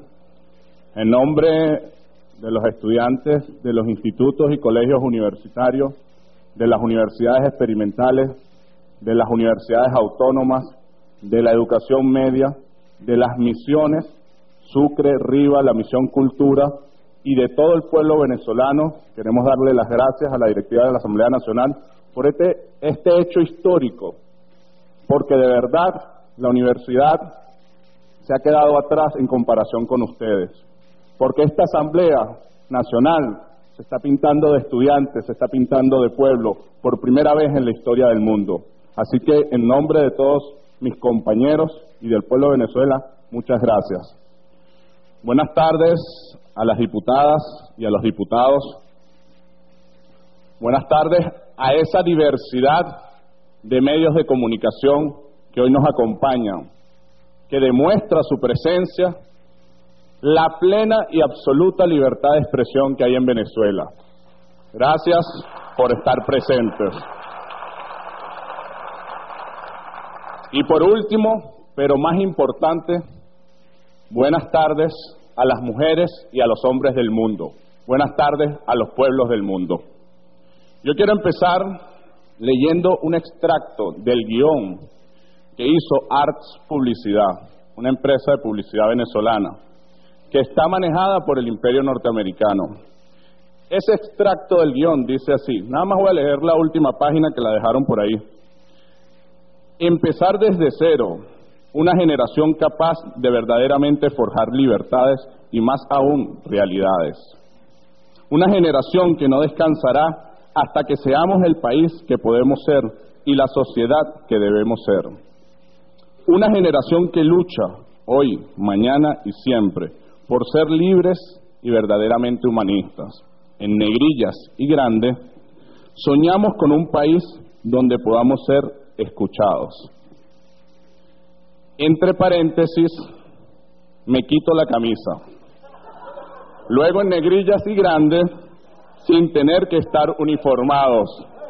Y, para y de último, sin más nada que decir, tres puntos por ahora. El guion que escribe el imperio norteamericano a través de Art Publicidad.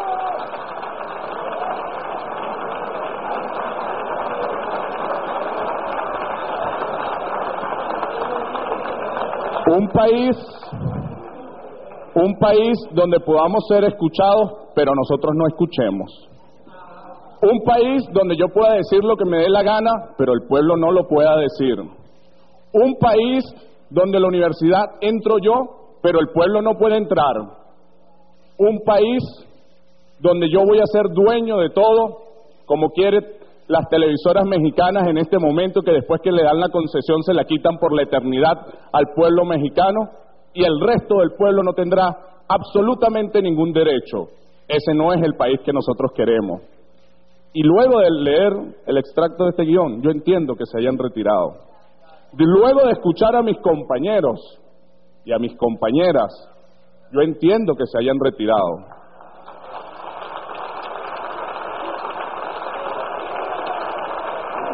Yo quiero empezar y pido permiso a la directiva para mostrar algunas cosas por las cámaras de televisión, por las pantallas, diciendo y aclarando que en Venezuela no hay una espontaneidad de la, de la manifestación. En Venezuela se está hilando un golpe de Estado. Un golpe de Estado que además es exactamente el mismo formato que se ha utilizado en otros países. La página de internet ruedalo.org, que no es una página que nosotros inventamos, es una página que el canal Globovisión le dijo a ese poco de muchachos que están siguiéndolo ciegamente que la abrieran. Ahí está la página. En esa página donde solicitaron que extrayeran la sirena que iban a sonar los días anteriores a que se le venciera la concesión a RCTV y volviera la democracia a Venezuela en el aspecto de la televisión. De esa página tenemos un puño, si pueden poner la lámina que preparamos, por favor. Este puño que ven ustedes aquí es exactamente el mismo puño que se utilizó en la Revolución Naranja, que se utilizó para derrocar a Milosevic, que se utilizó en Kosovo y en Yugoslavia. Y qué casualidad que este otro puño que vemos acá, con los colores de la bandera de Venezuela, es el mismo, es exactamente igual al puño de la Revolución Naranja, al puño que se utilizó en Kosovo y en Yugoslavia, y ahora está en la página web que ellos, a través del canal Globovisión, le piden a los estudiantes que vean y que sigan. Eso no lo estamos trayendo nosotros, eso lo están mostrando ellos. Si ustedes estudiantes dicen que no están siendo manipulados. Bueno, entonces analicen los espacios que ellos les están dando. Revisen un poco la historia de esos países donde ya se dio un golpe de Estado. La diferencia está en que Chávez no es Milosevic. Esa es la pequeña diferencia.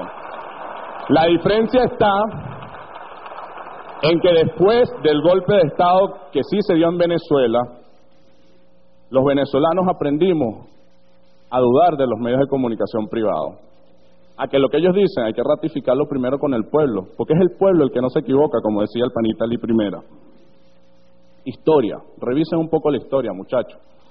Y hablando de historia, porque aquí en las manifestaciones, donde ellos han ejercido a plenitud su libertad de protesta, donde ellos han ejercido a plenitud su libertad de expresión, donde muchos medios de comunicación, sobre todo la prensa, ha utilizado la libertad de expresión de forma desequilibrada. Revisemos toda la prensa de las dos últimas semanas y digamos si ahí se refleja las opiniones del pueblo venezolano o se refleja las opiniones del imperio norteamericano. Revisemos eso. Revisando un poco de historia, los muchachos decían, no, es que en las protestas la policía nos persigue, la guardia nos persigue, no nos dejan marchar, nos lanzan lagrimógena. Primer gobierno de Caldera, 60 estudiantes muertos, dirigentes estudiantiles. Último gobierno de Carlos Andrés Pérez, por el pasaje estudiantil, el pasaje que los estudiantes hoy disfrutan gracias a los líderes y mártires de la dirigencia estudiantil. 12 estudiantes muertos. 1989, producto del Caracazo, 60 estudiantes fueron a juicios militares, 60 estudiantes universitarios. 1986, hubo un paro de 100 días de los estudiantes, pero no para tumbar un gobierno. Gracias a ese paro de 100 días, se aumentaron las becas estudiantiles que desde el año 70 no se aumentaban. Producto de ese paro de 100 días, estudiantes que de verdad luchaban por las necesidades de los estudiantes, se crearon las providencias estudiantiles. Porque el presupuesto de la universidad, al igual que ahora, se lo roban los rectores de las universidades, y eso hay que decirlo.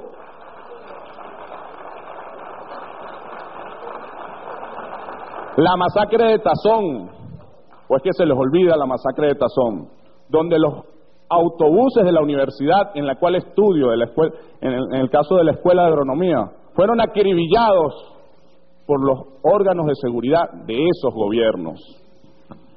El 89 se creó FAMES, el seguro estudiantil. Eso nos costó ocho estudiantes muertos. Durante el Usinchi, y deben recordarlo los muchos profesores, algunos diputados que eran estudiantes o dirigentes en ese momento, dos helicópteros, uno de la DICIP y otro de la Guardia Nacional, sobrevolaron los espacios de la Universidad Central de Venezuela y le dispararon a los estudiantes. ¿Y qué venía del lado de los estudiantes y del lado de los profesores? Poesía, grito, rabia, piedras máximo, mientras a nosotros o a los estudiantes de ese momento le disparaban con fusiles. Esa era la actuación de los órganos de seguridad de ese momento. Hace pocas semanas en la Escuela de Trabajo Social, los estudiantes que creemos en el país, en la patria, en la grandeza latinoamericana, en la grandeza del indio, de la mujer, del pobre, del negro, del obrero, estábamos recordando la muerte de Belinda, estudiante que mataron en la entrada de la Universidad Central de Venezuela. Y ninguno de esos hijitos de papá y mamá, yo los vi recordando la muerte de esa dirigente estudiantil. ¿O es que acaso se nos olvida el dirigente estudiantil Jorge Rodríguez Padre, que fue golpeado brutalmente en los órganos de inteligencia de este país? Ahí está una foto del camarada Jorge Rodríguez Padre camarada Noel, el camarada Sergio y un sinfín de desaparecidos y muertos. No nos vengan a decir a nosotros de que a ustedes se les están violando su derecho a la protesta. ¿Cuándo la dirigencia estudiantil en este país podía marchar libremente? Con los órganos de seguridad protegiéndolos como se les está protegiendo, con todos los medios de comunicación expresando sus ideas desde nuestro punto de vista, y es un llamado que le hacemos a la prensa nacional de forma desequilibrada. ¿O es que se nos olvida el caso de los años 90 cuando las protestas del PLES, que nuestros compañeros estudiantes tuvieron que desnudarse y pintarse de azul para que la prensa se diera cuenta y lo sacara a través de sus medios de que había unos estudiantes reclamando porque queremos una educación gratuita, porque no queremos una educación privatizada, porque queremos una educación para el pueblo? y la prensa no sacaba nada y tuvieron que los estudiantes desnudarse para que el show comunicacional sí lo sacaran. El show comunicacional que trajeron para acá, vamos a debatir, nos dicen, y lo que hacen es quitarse una franela. Vamos a debatir y se van de los espacios de debate y nos dicen, no, pero es que aquí no es el espacio. ¿Dónde no es el espacio? Aquí, con cadena nacional, con el pueblo. ¿Dónde es los espacios? ¿Cerrados en una cúpula de cristal en sus universidades? No, el espacio es donde sea. En cadena nacional, con el pueblo, en las empresas, con los trabajadores, en las comunidades indígenas, en las universidades, en la calle, en la esquina caliente, en el country club, donde ustedes quieran, cuando ustedes quieran y como ustedes quieran, estamos dispuestos a dar el debate porque creemos que tenemos la verdad, porque creemos que tenemos las ideas, y porque el que lucha con amor no se equivoca, y porque el pueblo no se equivoca, y porque estamos seguros que estamos del lado del pueblo.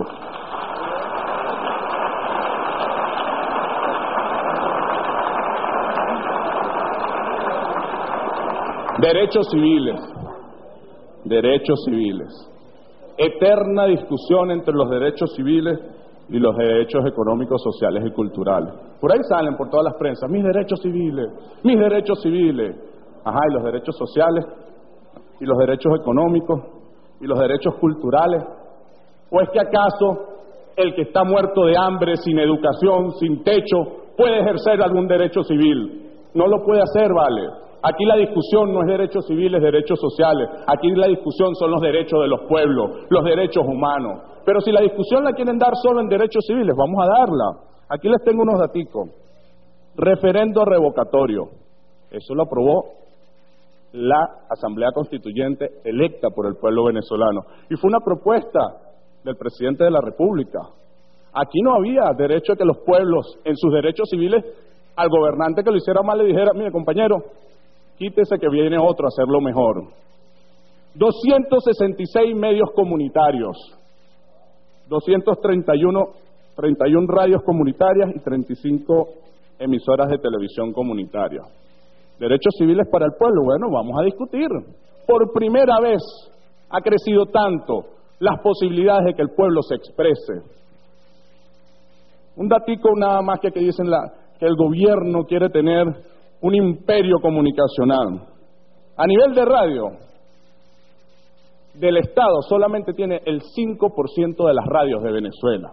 Lo demás lo tienen o las empresas privadas o las comunidades organizadas. A nivel de televisión, el Estado solamente tiene el 8% de las televisoras de Venezuela. El resto lo tiene o las empresas privadas o las comunidades organizadas. Derechos civiles, 19 mil consejos comunales organizados. ¿Quieren discutir la participación política? Bueno, por fin se le está dando la oportunidad a las comunidades y al pueblo de que se organice y de que participe políticamente. Derechos civiles, por primera vez en la historia de Venezuela, votan 12 millones de ciudadanos, porque aquí todo el mundo tenía derecho al voto, pero después me traes la tarjeta para ver por quién votaste, porque aquí todo el mundo tenía derecho al voto, pero nos daban un carnecito sin foto y no nos daban la cédula para poder ejercerlo.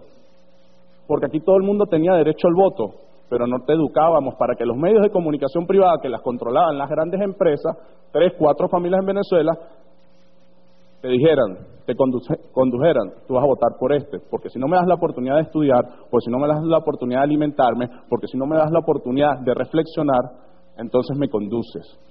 Pero se equivocaron, este pueblo es muy sabio. A pesar de todo eso, el pueblo ha sabido salir adelante. Pero en los derechos económicos y sociales y culturales, que son fundamentales para poder, poder ejercer los derechos civiles, el avance ha sido grandísimo. En la educación, 19 veces se ha aumentado el presupuesto en este país para las universidades. ¿Quieren hablar de autonomía? Bueno, vamos a hablar. ¿Cuál era el presupuesto que tenían las universidades antes del gobierno de Chávez? Las estaban asfixiando. Las universidades públicas en este país las estaban asfixiando con la clara intención de privatizar la educación. Por fin este país le ha dado posibilidades a las universidades autónomas y públicas de que ejerzan su autonomía a plenitud, a cabalidad. Pero ¿qué han hecho ellos? Agarrar ese dinero para hacerle el juego al imperio norteamericano. Jardín Botánico de la Universidad Central de Venezuela, ¿Quién les devolvió el Jardín Botánico a la Universidad Central de Venezuela? ¿Quién le devolvió la autonomía al Jardín Botánico a la Universidad Central de Venezuela? Este gobierno, el pueblo venezolano. Históricamente, el porcentaje del Producto Interno Bruto en nivel de educación había sido muy bajo. Por fin se aumentó eso. En salud, en alimentación, en construcción de viviendas, en construcción de canales de comunicación para que la gente no pierda tanto tiempo para llegar de un sitio a otro. No hay posibilidades de derechos civiles, no hay posibilidades de derechos civiles si no hay derechos sociales, económicos y culturales. Autonomía. En la Universidad Central de Venezuela, el 80% de los estudiantes vienen de liceos privados. Y en Venezuela, el 80% de los hijos del pueblo estudian en liceos públicos. La universidad pública tiene que reflejar la sociedad venezolana. Más de un millardo de bolívares gasta la Universidad Central de Venezuela diariamente. ¿En qué los gasta? Que le digan al pueblo venezolano de qué sirve su educación, su extensión o su investigación para resolver los problemas de las barriadas caraqueñas. Cuando los estudiantes de arquitectura han dicho vamos a resolver el problema de las barriadas, cuando las tesis de los estudiantes de ingeniería han sido para producir ciencia venezolana, tecnología venezolana, y no para repetir o aplicar en Venezuela la ciencia y la tecnología que nos traen del exterior. ¿Cómo vamos a tener soberanía si nuestras universidades no producen ciencia, ciencia nuestra, tecnología nuestra? Miren, pueblo del mundo, esos estudiantes que están marchando allá afuera no son nuestros enemigos. Esos estudiantes que están allá afuera los estamos invitando a debatir para que construyan patria con nosotros, porque los argumentos los van a convencer. Nosotros queremos, el equipo que nos acompaña, toda esa gente que ha estado todas estas semanas trabajando, un saludo, solicitar a esta asamblea, primero solicitarle a los compañeros que se fueron, que nos acompañen, que agarremos todo ese conocimiento y esa oportunidad que nos da el pueblo venezolano de adquirir conocimientos universidades, que nos acompañen hacer crecer los consejos comunales. El pueblo de Venezuela necesita de los estudiantes. Bueno, vamos a entregarnos al pueblo de Venezuela, porque además los estudiantes no somos algo ajeno al pueblo. Los, los estudiantes somos parte del pueblo. Entonces los invitamos a construir con nosotros esa nueva democracia, una democracia verdaderamente de libertad y de igualdad. Pero además le pedimos a esta Asamblea Nacional, porque consideramos que la educación no puede seguir siendo mercantilizada, no puede ser un negocio, que revise urgentemente los precios de las universidades privadas y que los regule. No puede ser que para que el hijo de alguien de Venezuela estudie tenga que pagar cuatro millones de bolívares. No podemos permitirnos como sociedad seguirle permitiendo a las empresas privadas que hagan de la educación un negocio. No solamente eso, también le solicitamos a esta Asamblea que trabajemos en el contenido de los pensum de estudio de las universidades, que trabajemos en la necesidad de darle servicios estudiantiles a los estudiantes de las universidades privadas, comedor, transporte, becas para los que no puedan pagar las universidades. Le pedimos a esta Asamblea que se vuelque al pueblo, a los indígenas, a los obreros, a los estudiantes, a discutir la nueva ley de educación superior. Es una urgencia la nueva ley de educación superior. Y no, y no para discutirla encerrados en las universidades. El que está en la universidad no quiere cambiar la universidad donde está. Ese es su status quo es para que la discuta el dueño de la universidad venezolana, el pueblo, el indígena, el obrero, la mujer venezolana. Son ellos los que tienen que discutir qué universidad quieren para su país. Por último, quiero llamar a mis compañeros.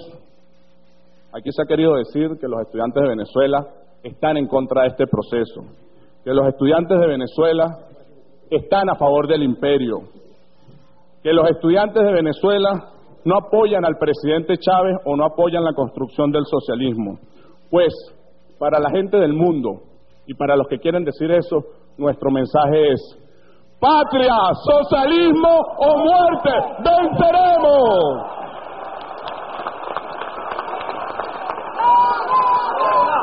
Cosa más bonita. Es la patria socialista. Vea, vea, vea, qué cosa más bonita. Están los estudiantes por la patria socialista. Vea, vea, qué cosa más bonita. Están los estudiantes por la patria socialista.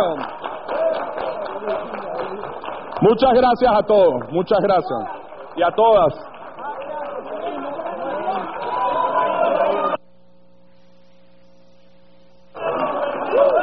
¿Ah?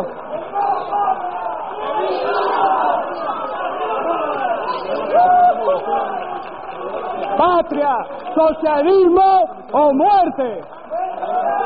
Finalmente, queremos despedirnos de la directiva de la Asamblea Nacional, de sus diputadas, de sus diputados, de los periodistas que hoy nos acompañaron, de los pueblos del mundo, agradecerles esta oportunidad y lo queremos hacer como patriotas que somos, con la bandera como va, como la siente el pueblo venezolano y cantando el himno nacional de Venezuela.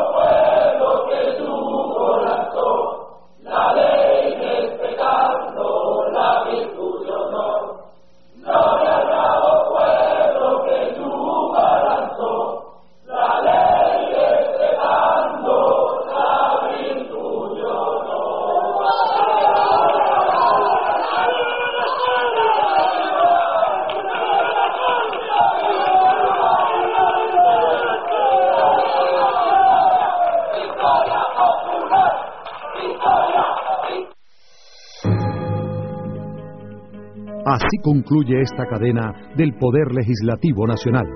Asamblea Nacional, República Bolivariana de Venezuela.